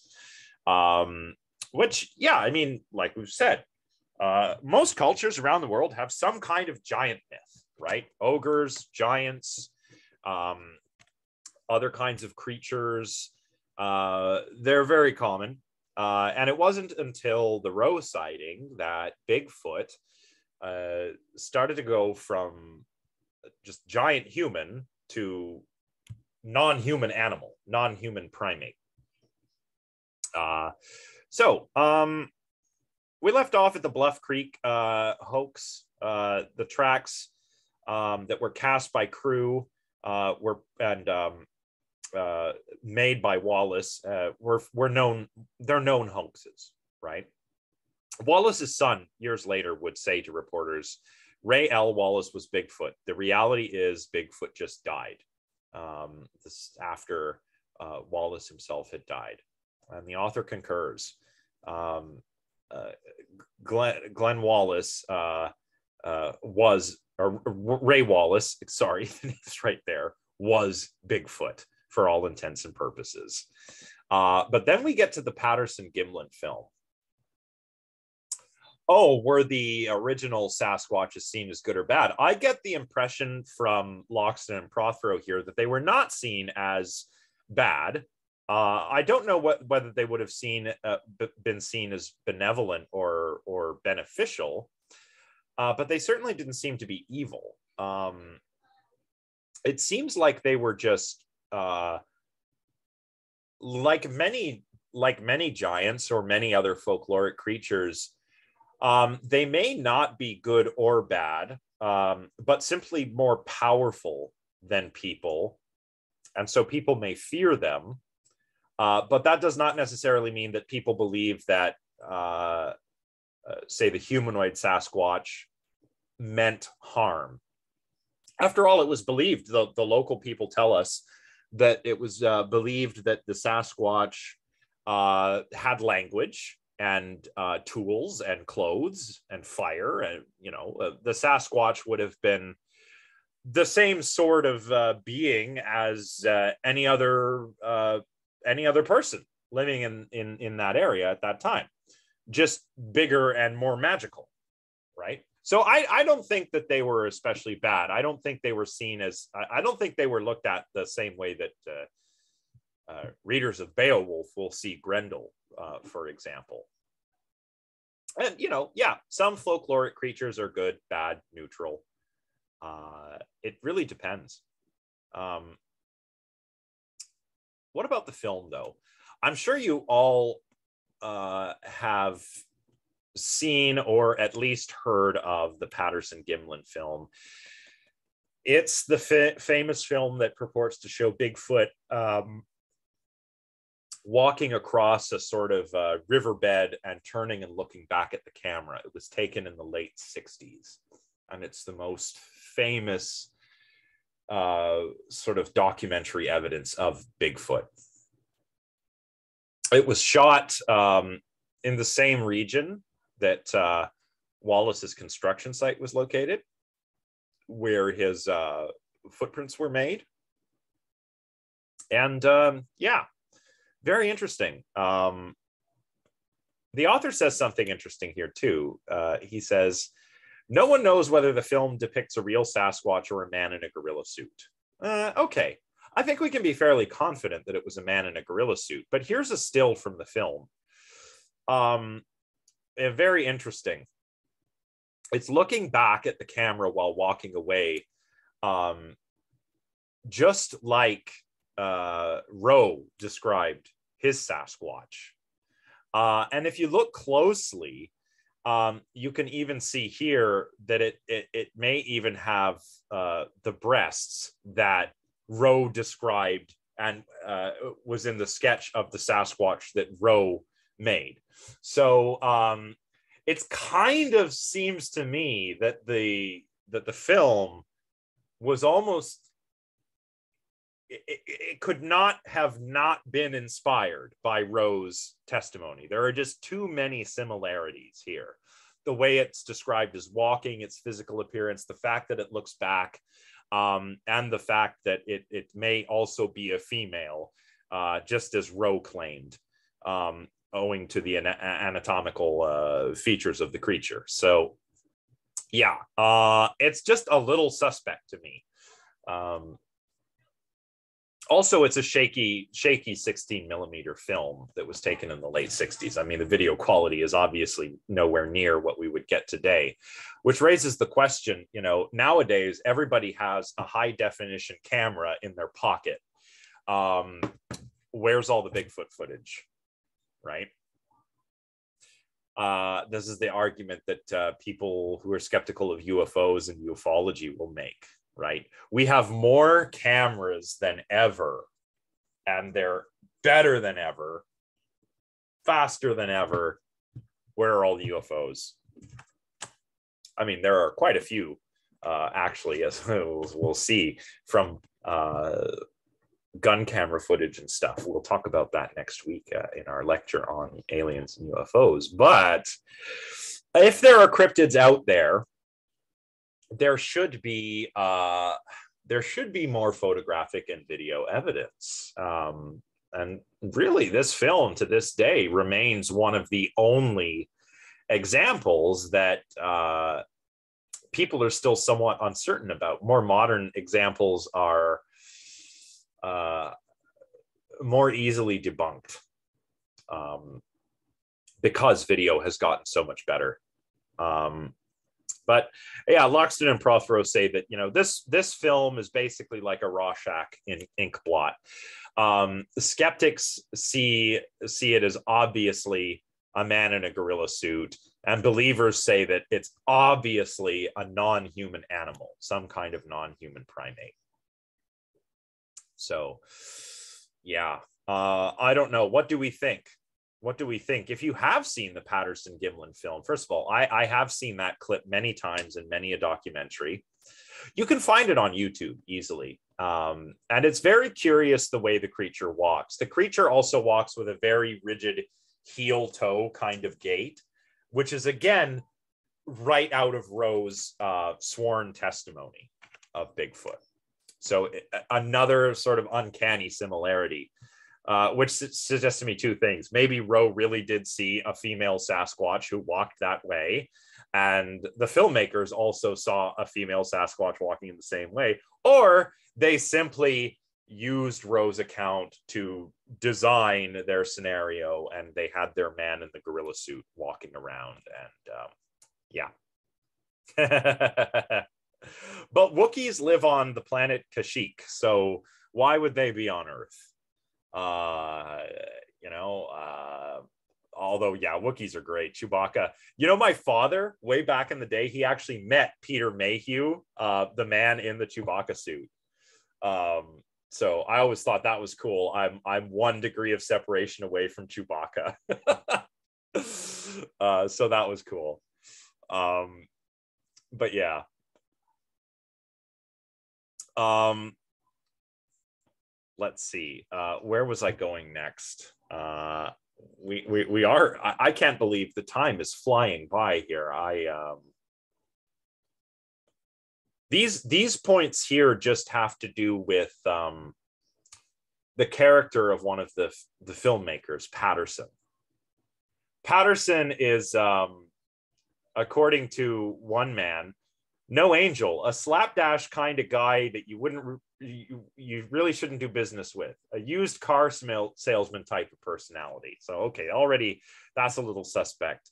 Um, uh, let's see, he's ripped off uh, lots of people.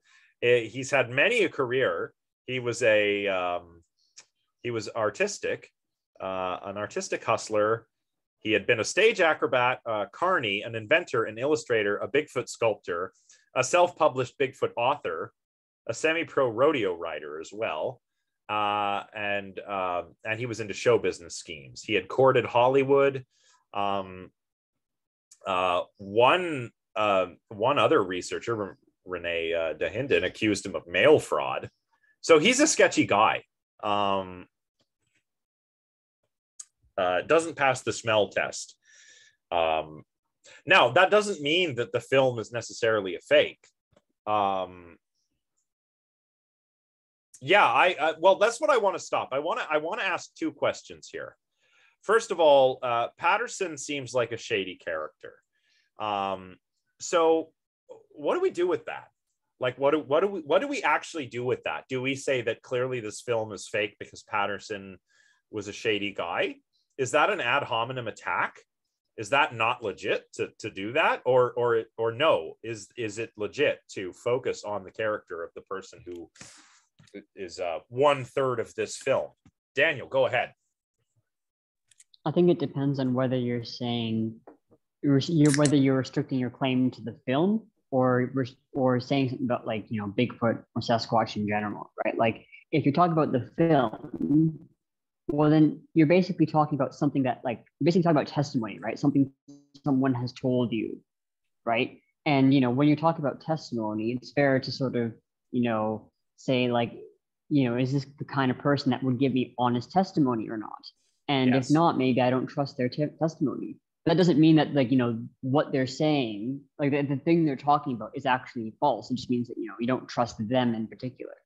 Exactly. Uh, I, I i i think i agree with that Uh, but what does Alexis think? Alexis, go ahead. Yeah, I totally understand where everyone's coming from and their perspectives and everything. Um, and like you were saying, Daniel, it is kind of like testimony why, like in a court of law, which is what we abide by in the adversarial system, at least, you know, you have testimony from a person and there's usually like character references, and you're saying like if this person is a credible witness to even be on the stand, all that kind of stuff based off their character. But then you also have to look at the other side too, and saying that as we were just talking about it with different researchers, right? They people have their PhDs and yet they're still falsifying evidence to make Yeah. a claim and saying that this evidence has been brought to light. So you can see how it weighs on both sides. How you you trusting people is very difficult. You can't necessarily trust someone based off their credentials specifically.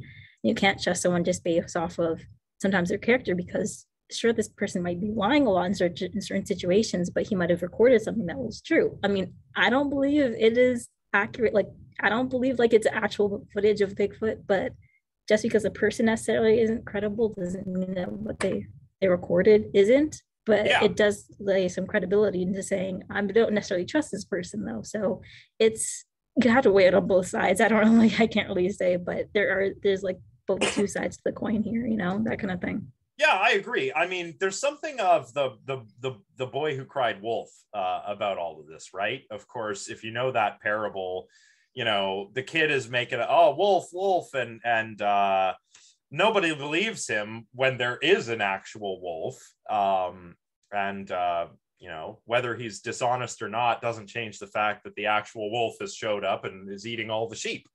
So um, I agree. I, I I think that you uh, and I think like Alexis and Daniel kind of hit the nail on the head. Where you know what we're really interested in. You know, I'm not saying it can't be Bigfoot because this guy is a scam artist. Uh, that would be ad hominem. But what I am doing is treating um, the film and the story be- the story behind the film really as as a sort of testimony, right? Like i made this film. I filmed bigfoot. Um, and in that case you do have to consider how reliable the person giving you that testimony is. And if the person has a track record of being misleading you're not assaulting their uh, character um, or assassinating their character to try and win an argument. You're pointing out that their character is not consistent with giving reliable testimony right? But even if you say whatever look at the film itself you know uh, okay we can do that. And it's not as clear cut as you would think. Uh, i i i do not believe that is a film of bigfoot. Um but uh let's see get to the end of these uh, points here. Yeah that that's one thing one of the points i skipped is patterson made tons of money. He and that uh, Heironimus fellow um, were touring around. Obviously, this is pre-internet, right? So they're going from town to town, um, uh, showing this film and and making uh, all this money just from going and exhibiting this film, like a traveling salesman almost in uh, in, in in these local theaters. Kind of reminds me of um, you know, you guys remember that episode of The Simpsons where they get the monorail.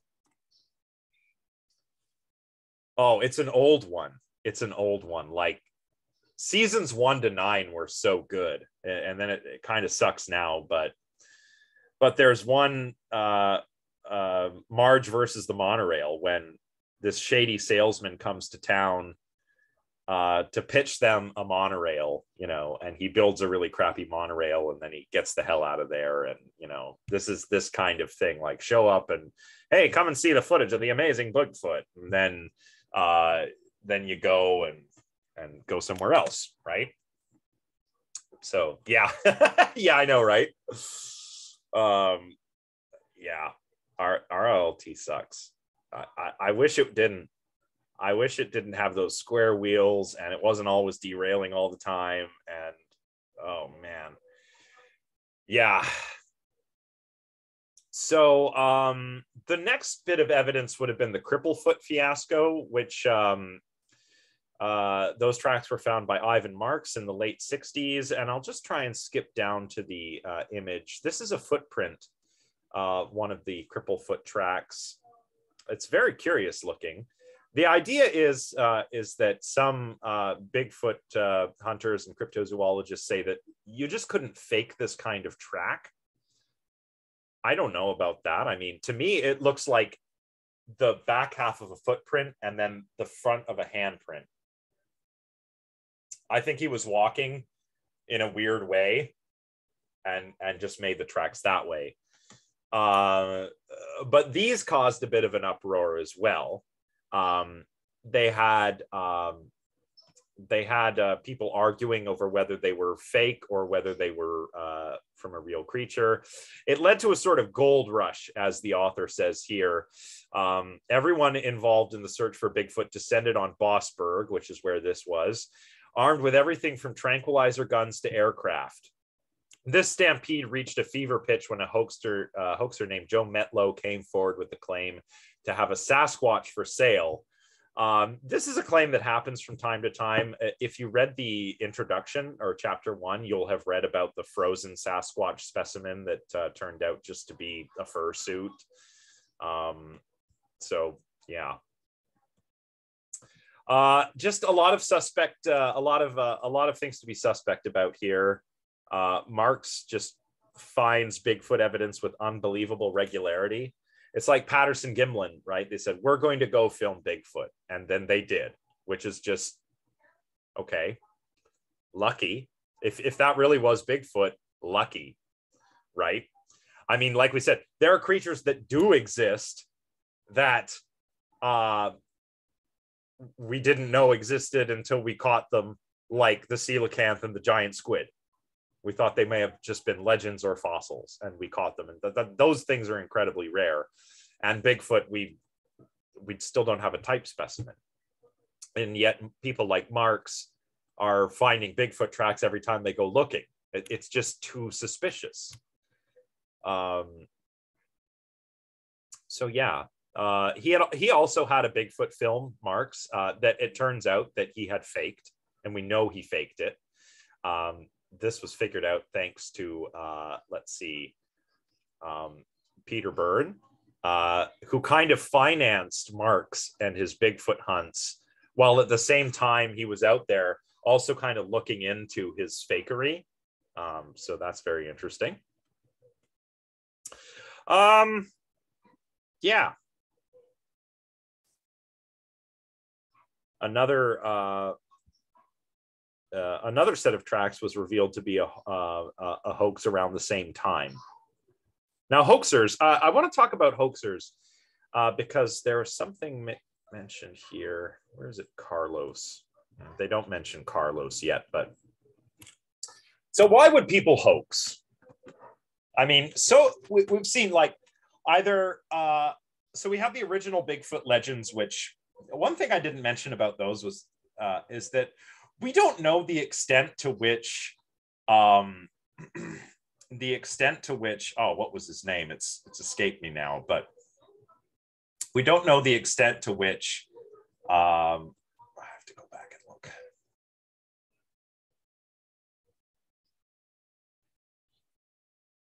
Burns right. We don't know the extent to which burns uh, and the uh, native peoples were screwing with one another, right? We don't know if um if if Sasquatch giant magical people is a thing that uh, the Salish people really believed, or if it was just a kind of way that they were pranking the white guy. We, we, we don't know. You know, they might have been having him on. And Burns might have been like, oh you're trying oh i'll play along. Uh you know we don't know. They could have all been been fooling each other or or just joking about with one another. We don't know. We really don't know right? Uh daniel go ahead. Uh, well, I was just gonna say on that, like the original reason I brought up the, the Wendigo thing was because um, I, I believe I, I heard once, and it was there was the, it was it was on YouTube, but it was this channel that talks about mythology, and they talked about some indigenous mythology, and there was a, a story, and the protagonist was called Onwe the Killer, and basically the when the Wendigo in the story were a tribe of people who were cannibals, but I believe they were also quite large. Hmm. So that's that's why I brought it up, is because I thought like it it sounded it, I don't know, it just kind of rung a bell for me the idea of like a giant sort of tribe of indigenous people that you know perhaps or perhaps not engage in weird things. Oh, okay. I see. I did see. I did. I don't know very much about the the the folklore around the Wendigo, so I didn't know that. Um, but uh, I, it could be. I mean, again, like myths about giants are pretty universal. Um, uh, and and you can find lots of examples all over the world, right? Um, so, and who knows which are rooted in truth and which are inspired by uh, dreams or visions or or some something else, right? We we don't know which ones are meant to be sort of, uh, you know, yeah. So it's probably a little bit of both, because you always have people that are, you have priests, you have do- the the medicine people um, that are doing vision quests and talking to the spirits, and uh, you always have that, and then you also have, you know, stuff that's meant to sort of teach you a lesson and sometimes it's both. So yeah i, I don't know. You would have to ask a folklorist uh, and unfortunately i'm not one. So how do we filter all this evidence right? I mean first of all I, well well jean-francois asked asked a while ago and guys no judgment okay? No judgment. But who thinks it's a person in a suit and who thinks it may be a cryptid? I think it's probably a person in a suit um, and that's just because of the way that it, it moves. It moves like a person walking in a funny way to me. Um, so th- th- that's how it seems to me. But yeah. So so rebecca says person in the suit. If you think it may be a cryptid like honestly i'm not i'm not here to to to be a jerk or or make fun of anybody. Um could it be uh, some kind of unidentified primate. I guess it could be. I just don't think, I just think that all of the other evidence is just too suspect, right? Yeah, that's another question. What is a Sasquatch? Is that's a good I that's good actually that you raised that. Um, and yeah, an unsure animal would be so defensive and startled. Uh, who said that? Jean. Yeah, I agree. Who grew up who grew up in nature? Anybody? I did. I grew up in northern Ontario. Um and before Thunder that Bay we- area. Like Sorry? Kenora? Kenora, Thunder Bay. Or not that far. Uh kind of Okay. between kind of between North Bay Sudbury. Like I went to high school outside Oh. of Sudbury, went to uh, undergrad in Oh. North Bay. Nipissing, yeah, yeah, Yeah, yeah, yeah. yeah. Yeah. Rebecca grew up in the middle of a forest, so Rebecca's probably seen some animals, uh, and Jean Francois, probably you as well, right? You've seen Inter- bears. Manitoba, Interlake region. Yeah, yeah. So, Okay, just so- way up north. Yeah. so we know we know the woods and um uh that's what you said yeah i have never seen an animal an, a wild animal behave that way uh wild animals do not look back at you when they're running away they don't do that they they might stop and look and then they'll leave or they'll face you and back away slowly they don't that's not animal behavior um, and uh, the ecological niche question this is interesting. A lot of Bigfoot hunters and cryptozoologists say that um, the territory of Bigfoot overlaps with the territory of bears. Uh, and in North America, we're talking primarily about black bears and brown bears. Um, yes, we have polar bears, but they're uh, they have a completely different ecological niche. So you know, black bears. Uh, I grew up uh, when I was about ten years old, or younger. When I was younger uh, in in Ontario, there used to be the spring bear hunt. Um, hunters were allowed to hunt bears in the spring, and then they stopped that, and bear numbers went up. Man, they went up like crazy. So I saw lots of black bears, um, and the black bears are so cool. But no black bear ever behaved like that um, you know bears often when we'd see them it would be from a vehicle and they would they might watch us for a little bit but eventually they just kind of go away Um, saw a lot of bears at the dump. I used to be a garbage man when I lived out there. And uh, actually, it was not a bad job because I got to see a lot of wildlife. And bears and garbage dumps, they're like this because there's so much to eat. So I, I saw so many bears. You'd see bears standing up and walking a little bit. But uh, yeah, it makes you wonder how many Sasquatch sightings, if their territory is supposed or their or their ecological their habitat is supposed to overlap with the, that of bears, you've got to wonder how many Sasquatch sightings are bear sightings, right? Winnie the Pooh, yeah. I mean, bears like honey, but garbage is easier to find. And yes, that's right. That's right. Aren't you scared of them? Bears are more scared of you. Generally, they're more scared of you. The only time I don't want to be around a bear is if it's a mom with her cubs. Yeah. Um, so like if if you if you see a bear with cubs, just give it a wide berth and uh never run away. Okay. Never run away. Uh, because that triggers a prey uh, prey response. Um, and bears can run faster than you can. So, yeah, polar bears are something else. That's my favorite bear. Yeah, yeah. Don't run. Don't climb a tree. Slowly back away. And if the bear charges you, you make yourself look enormous as you can, and you have to like give like you know make a noise like a like a howler monkey or or a or a metal vocalist. Scare big and loud and you will scare the bear away. Um, but most bears that are by themselves don't want anything to do with you. They they just they'll they will avoid you. They're not they're not um i know they look cute but oh man bears are just so awesome. Like literally awesome. They're so powerful. Uh so bears, I respect bears. Um, uh, so that's where I was going here is that uh, a lot of uh, a lot of um, Bigfoot sightings could just be bear sightings. And look at look at this.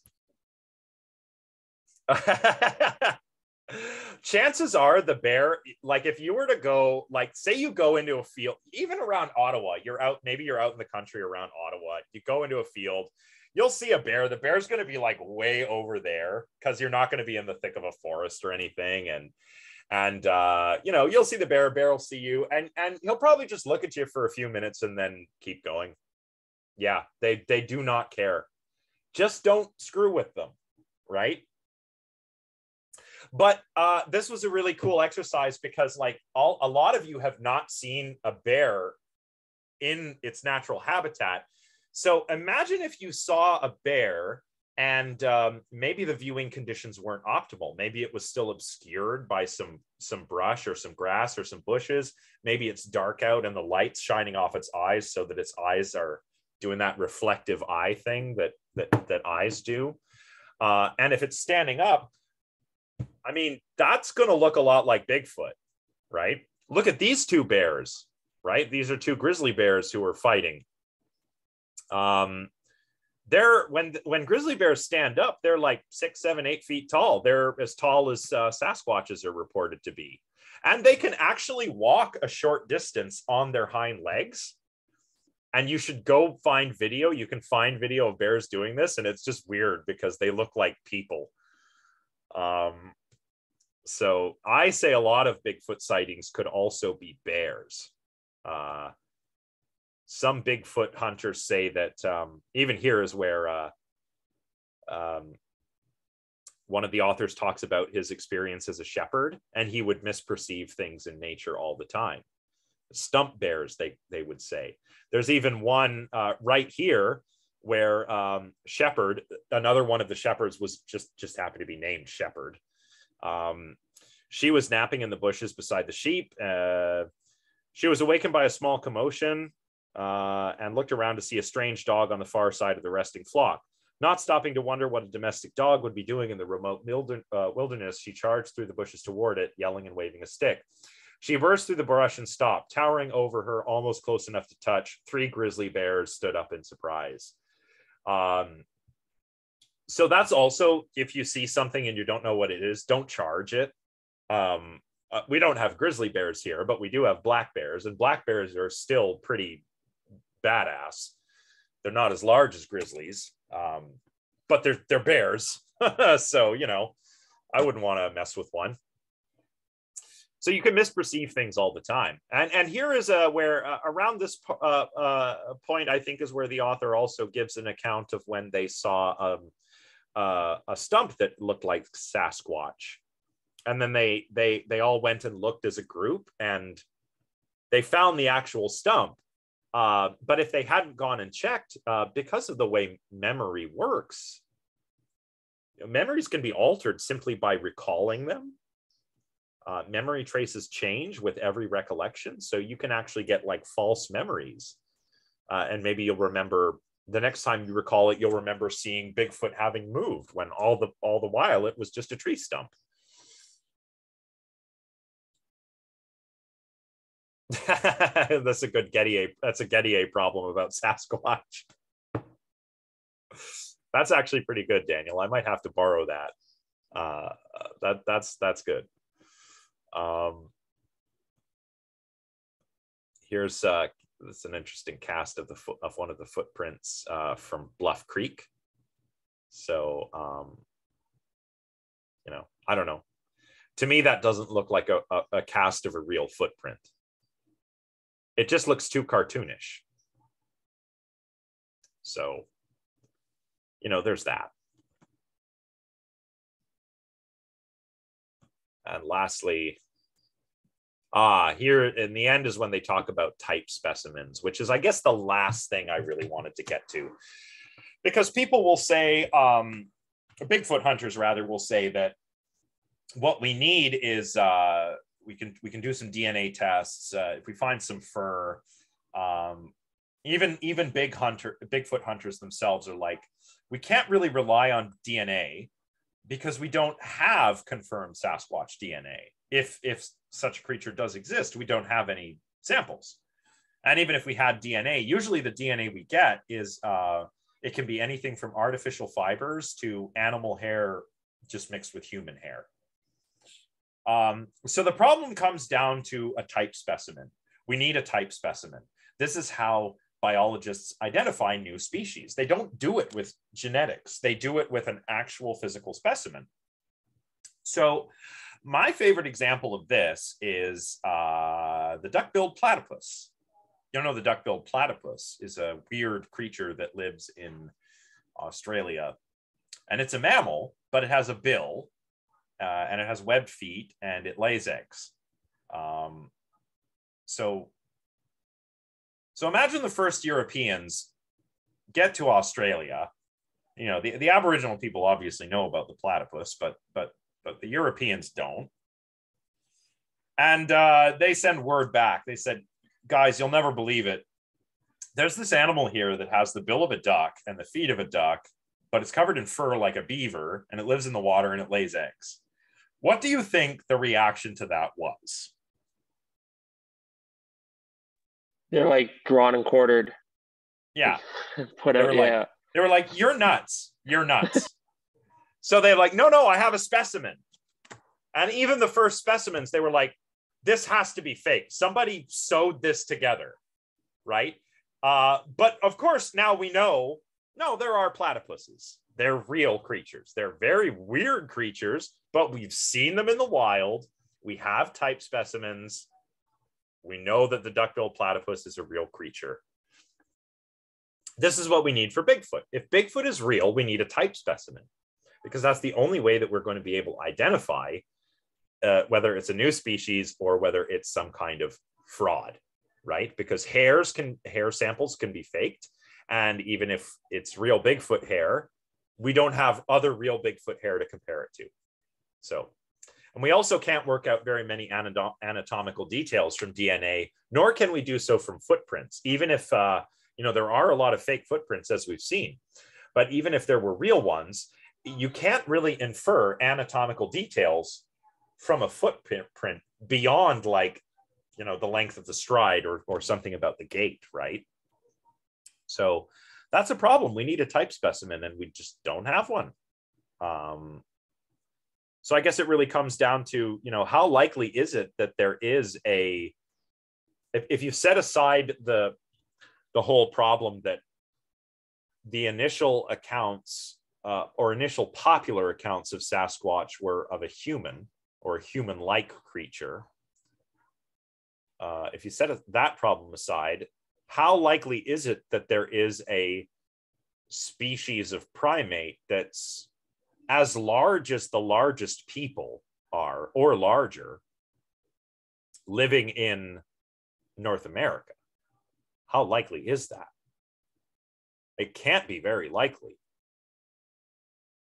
I mean, let's say it say it has the same range as bears. Okay. Um, we see bears all the time. You know, maybe not if you live in the city, but if you if you're like from where I'm from, you see bears all the time. You know, I've never seen a Sasquatch. You know, I've seen just with the technology yeah, present too.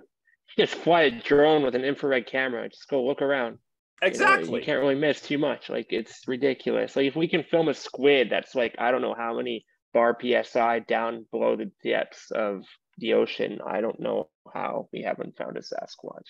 exactly. You find axolotls, whatever how to know how to pronounce those, those little yeah, those uh, yeah. salamander things with the feathered Yeah. gills, like those are those are really neat. Uh, in one also- lake in Mexico. Yeah. you know, yeah and we found you know and, and other living fossils that we didn't talk about we talked about like hor- horseshoe crabs are are like they look like they came right out of the cambrian explosion you know um but they're still alive um even Daniel- lungfish there are still Daniel- lungfish we've discovered so yeah it's the lack of genetic diversity.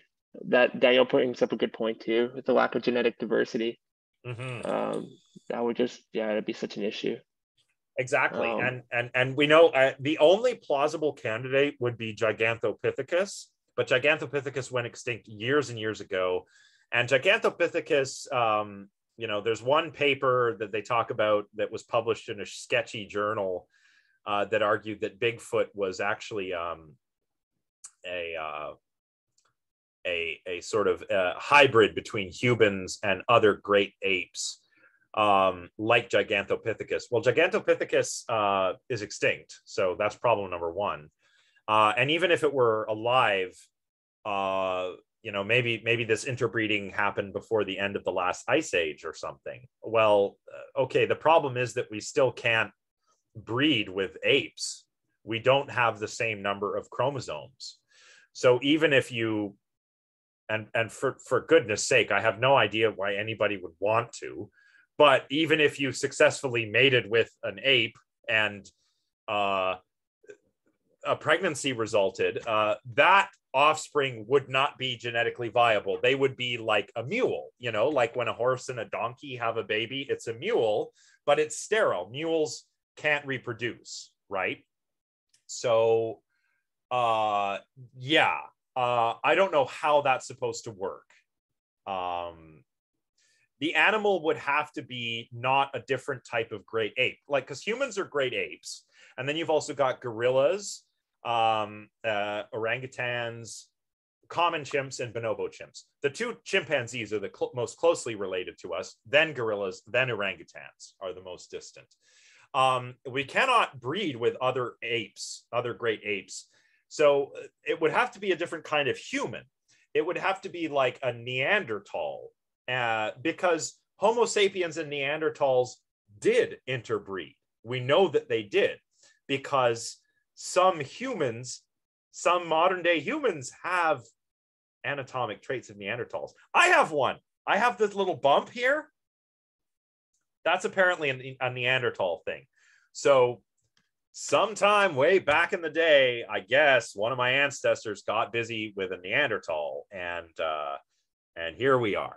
So it's more common in in in in certain ethnic groups, like uh, you know Europeans and Asians will tend to have a little bit of Neanderthal traits, uh, Neanderthal DNA. People from sub-Saharan uh, sub-Saharan Africa don't, um, just because those populations of people uh, didn't leave Africa. I mean, well, today they've maybe some of them have left Africa and lived somewhere else. But Neanderthals were living in Europe. And then when humans left Africa and began to migrate out, the ones that eventually would end up in Europe and Asia and the Middle East ran into some Neanderthals, but the populations that didn't uh, didn't because there were no Neanderthals in Africa. But Neanderthals, uh, they were like another kind of human, uh, but they were not like Sasquatch. They were probably shorter than Homo sapiens. Um, they were very stocky, very robust.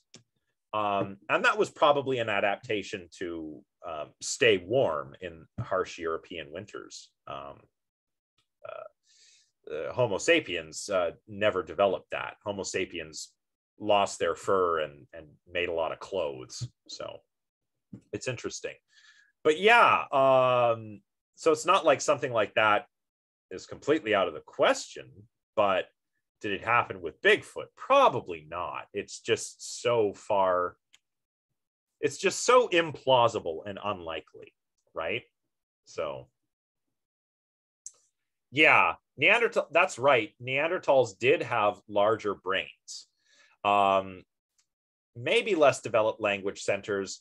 Yeah, that seems to be evidenced by the kinds of art that Neanderthals made versus the kinds of art that Homo sapiens made. Homo sapiens, um, from, from the archaeological evidence that we have, if I'm not mistaken, it's currently believed that Homo sapiens were better at abstracting than Neanderthals were.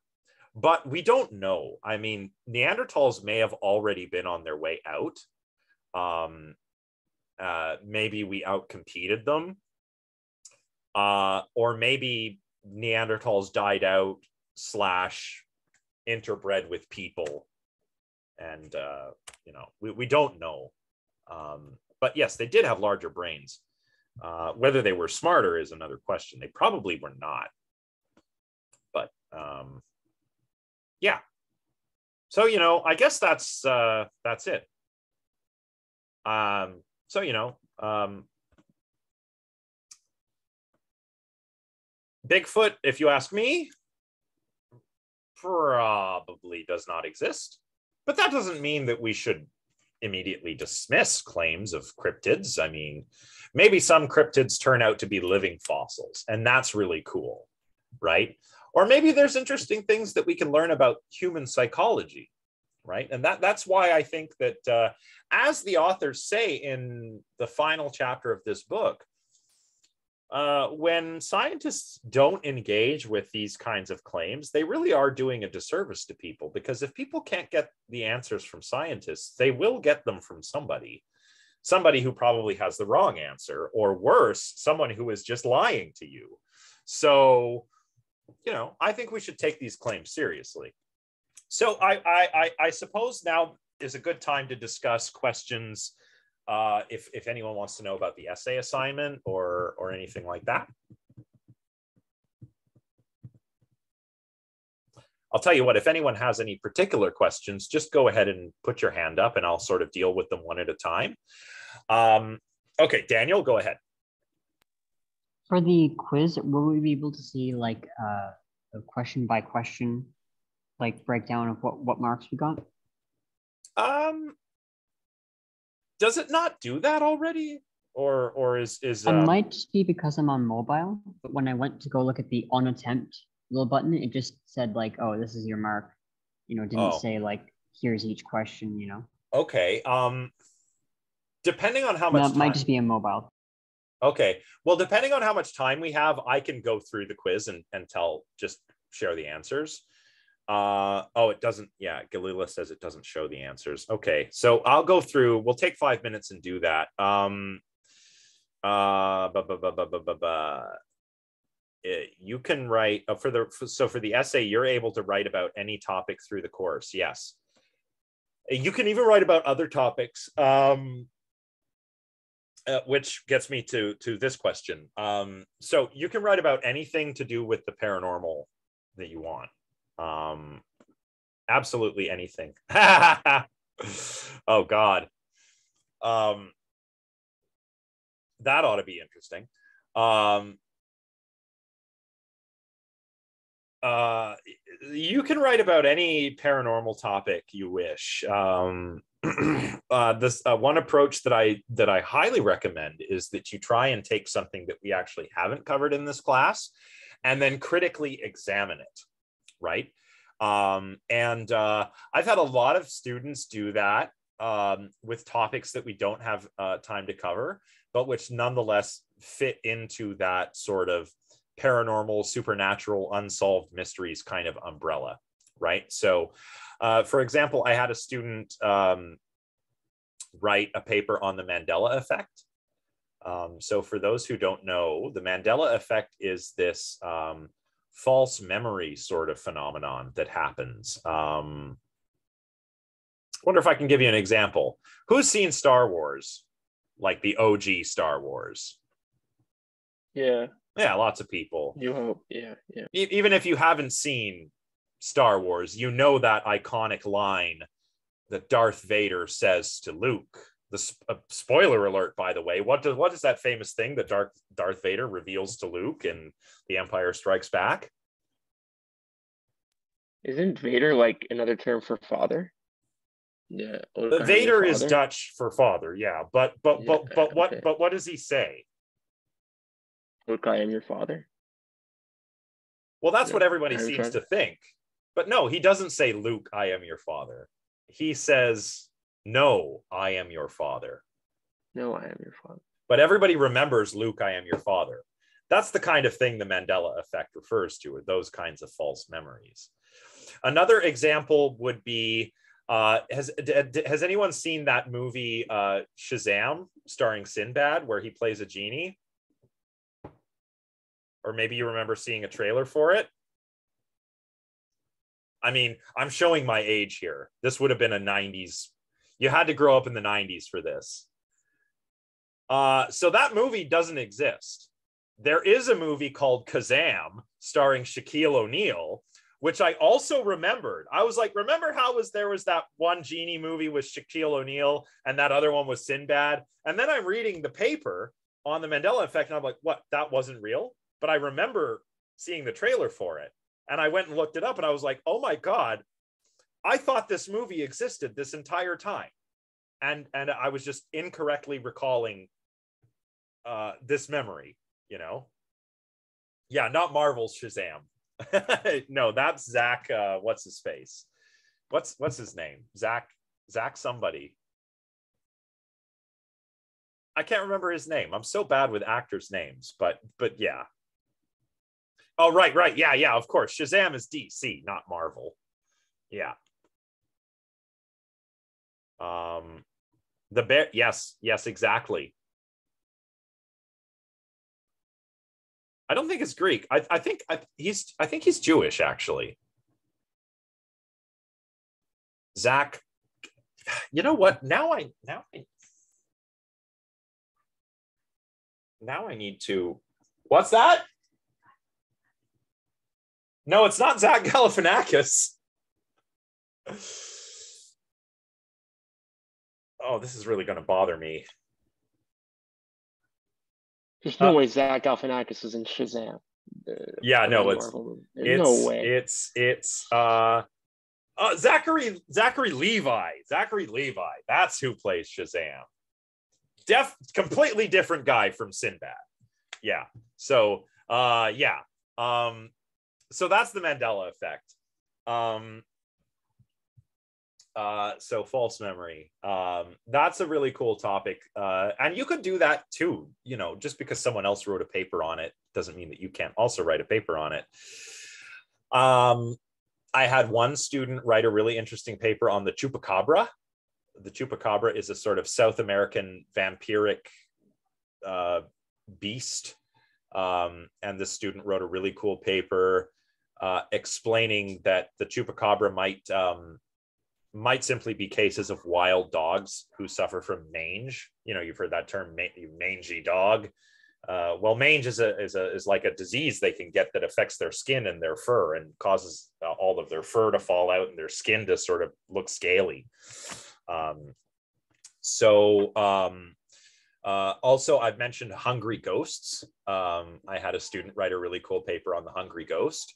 I've had a lot of students write papers on the jinn, um, which are kind of like a folkloric, not paranormal, but certainly a supernatural folkloric creature. Um, and some students take various approaches. Some will take a paranormal topic and try to naturalize it, right? Try to explain it in naturalistic terms. Others will sort of dive into the history and the folklore and um, the sort of psychology behind why these ideas uh, are maybe common across many cultures uh, through history and what is it about human beings that make us tell these kinds of stories? Um, uh, so stuff like that. Basically what you want to be doing is writing an argumentative paper. You can't just be surveying uh, a topic. Uh, you have to engage with a topic critically. Um, and that would be the number one thing that you need to do.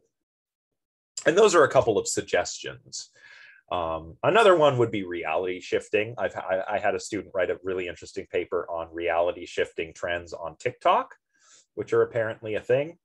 Um, so uh, yeah, um, really, it's it's quite wide open in terms of the topics you can choose. Uh, it can be anything that's kind of like paranormal, supernatural, or unexplained. Um, and there's a number of different approaches that you can take toward it too. Um, any other questions?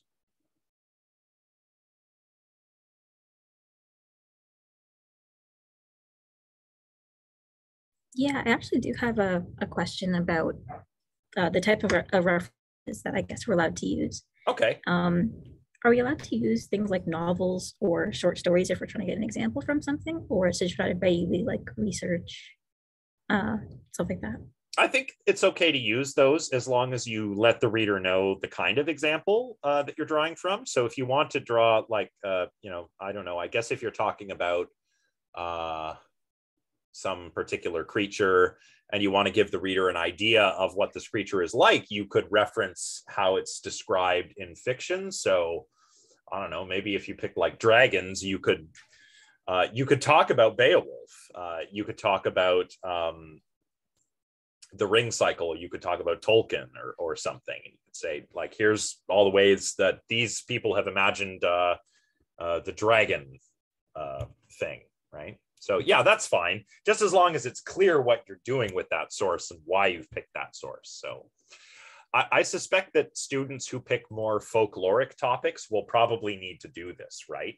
So if you're talking about uh, a, a bit of old lore you'll definitely want to reference these stories because oftentimes those are the only accounts we have of those of those creatures right? So yeah that would be fine. I would just say use discretion and uh, make sure everything is well explained. Okay and then to go off of that as well sorry i feel like i have so many questions. Um, no worries. just to go off of that as well um, if we were to talk about like remember before we were talking about descartes and his idea of like the um the I think it was like like the animal machine, like the Betz machine, or like being like how animals have don't have souls, humans yeah. do. Um, are we allowed to kind of? I know it has to be like an argumentative or a critical paper. Um, what if like I was having this idea of we are talking about um, Descartes, and because he did talk about humans and like the dichotomy between humans and animals, are we allowed to speculate what he might have thought if something if my I don't want to say like like I have an idea for my topic, but I'm not mm. sure if it's like correct or anything. But um, are we allowed to say anything like speculating about what he would have thought if um if a certain situation arises, or is that not? I think. Uh, well, again, I would I would just kind of do this with caution and discretion because some of the things that we're talking about here, I mean, uh, Descartes will not have heard of, right? Um, like Descartes might have known about tales of mermaids and giant squid because it was the you know it was like the scientific revolution. Um, everyone was going around exploring everything and figuring stuff out. Um, but of, uh, but there would have been no bigfoot myth at that time or or loch ness monster or anything like that. So i think you would have to use discretion there. I would say cautiously speculate um, but be very careful to distinguish when you're speculating from what we know for certain about what Descartes thought about animals. because we do know for certain he thought that they were machines, uh, basically like robots created by God, right? Um, yeah, yeah. Like Daniel says, uh, like uh, given that Descartes believed X, he may also have believed or not believed in Y. This is mere speculation, but it is nonetheless plausible, or something like that. Um, So, yeah, that's okay to, to write about something like that. I think so. I think so, but but but just be careful. Just be careful. Remember, this is why I'm having everyone do a proposal so that if I think you're going in a direction that won't be good, I can tell you and I can kind of point you where I think it would be better for you to take your essay. You know, so so that's why we're doing this. Um, so don't Okay. worry. I, I wouldn't worry too much about it. You know, um, yeah. All right. Any any other questions? All right, so maybe what I'll do is open up uh, the quiz and uh, let's go over the answers real quick. I guess I should share my screen again. Um, share screen. Oop. All right, let's go to the quiz.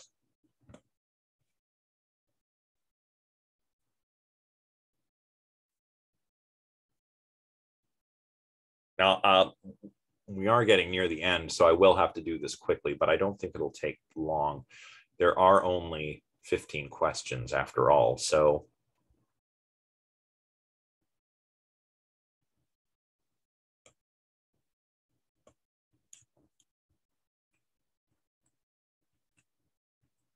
Ah, what a terrible computer. Okay, week two.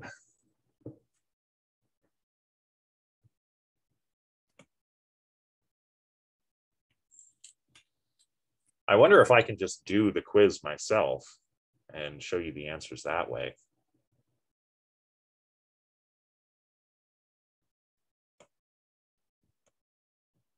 Ah.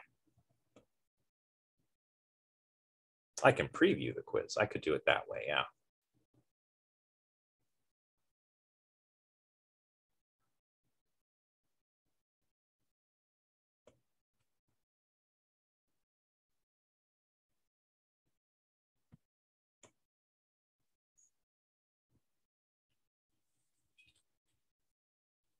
All right. All right. Let's see how good I do at my own quiz.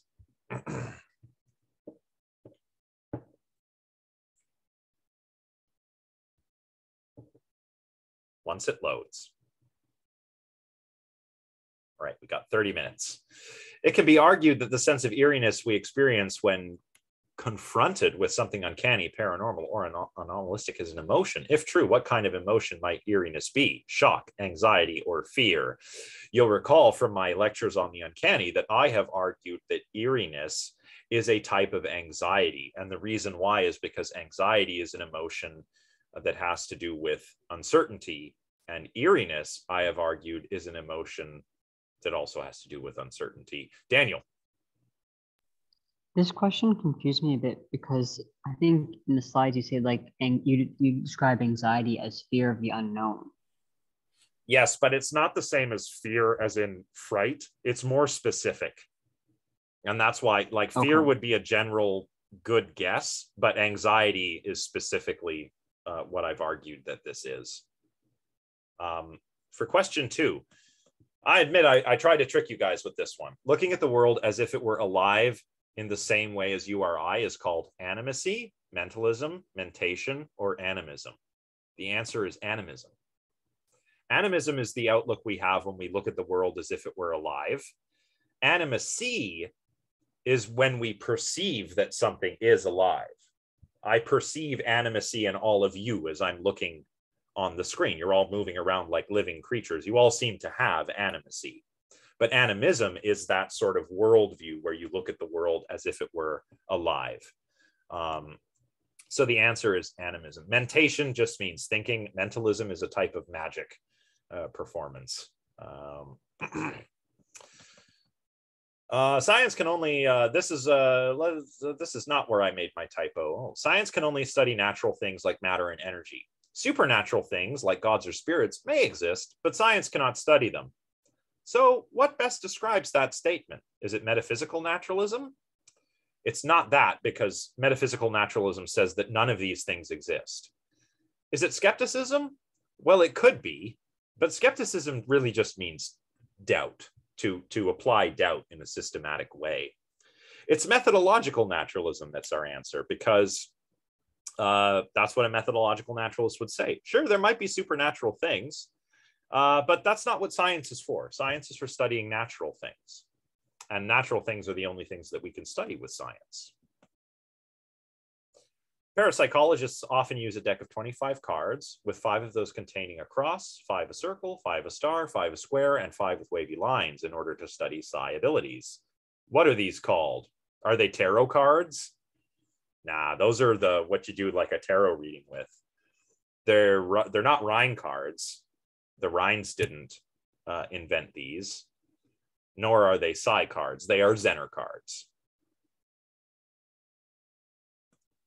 everything that is supernat that is paranormal is also supernatural. Yeah, I know that's false. Because there are some paranormal things that may not be supernatural. We talked about one today. Maybe Bigfoot uh, is just an undiscovered species of primate. That would be paranormal, but not supernatural. Maybe there are aliens. Well, they, they're just life forms that exist on other planets. That's not supernatural. It's just a little bit beyond our current scientific understanding, right? So that's why the answer is false. Uh, and Freud seem to disagree with one another about the role of animacy and animism. This is a tricky one. They disagree about a lot, but do they disagree about this?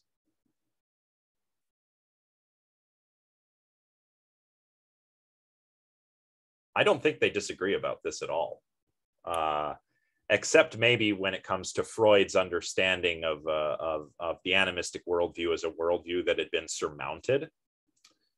Uh, but Jentsch, although he doesn't use that term, he talks about this worldview the same way. It's a worldview that uh, children easily adopt. It's a worldview that um, you know many earlier societies, like even the ancient Greeks, had. Um, so the answer is false. Ernst Jentsch believed the main cause of uncanny experiences is the return of the repressed, mental uncertainty, or just paranormal phenomena. Well, it's not the return of the repressed, that's Freud. And paranormal phenomena might be a good guess, but remember, it's mental, or as Jentsch said, psychical uncertainty.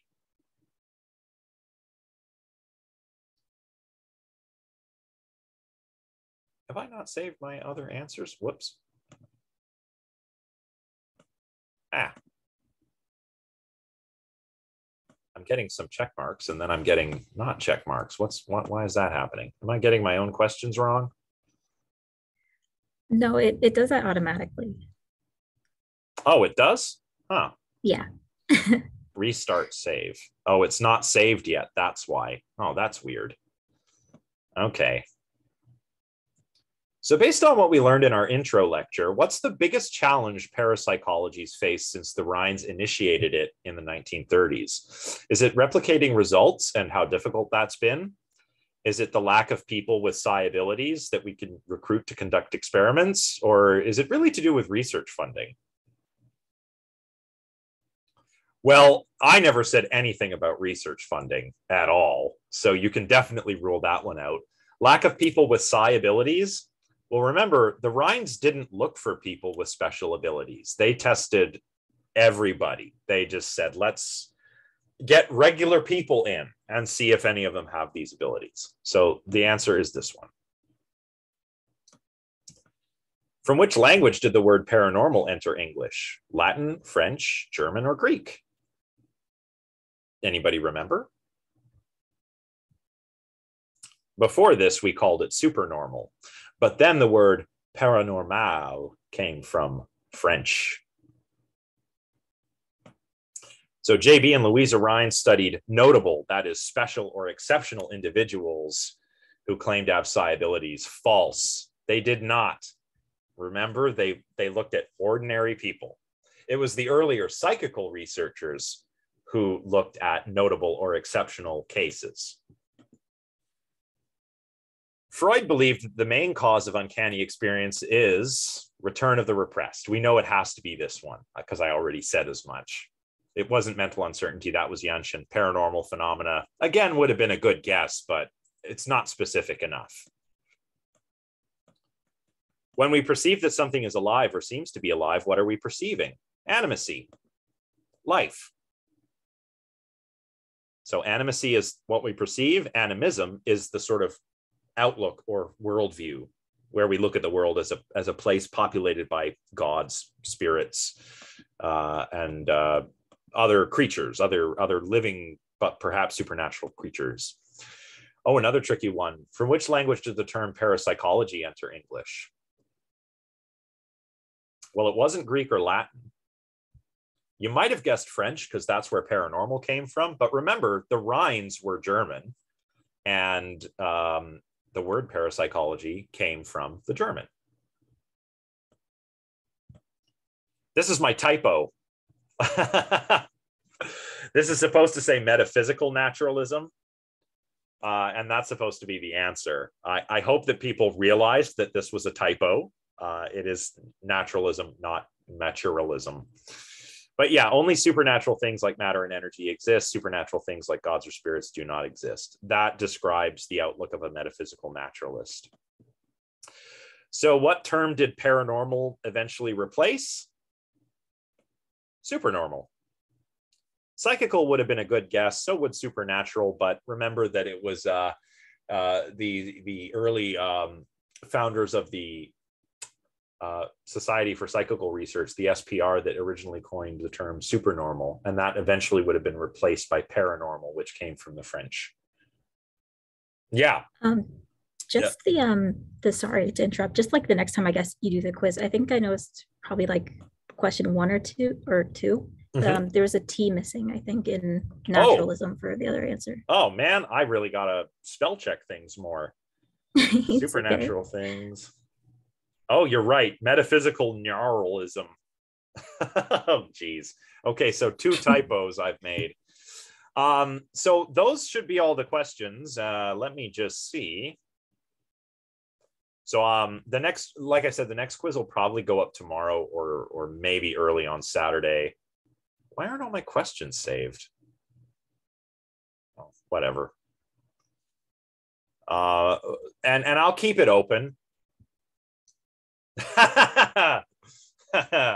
uh-huh. um, I'll I'll keep the quiz open for a bit. Um, you know, I'll keep it open for like four or five days.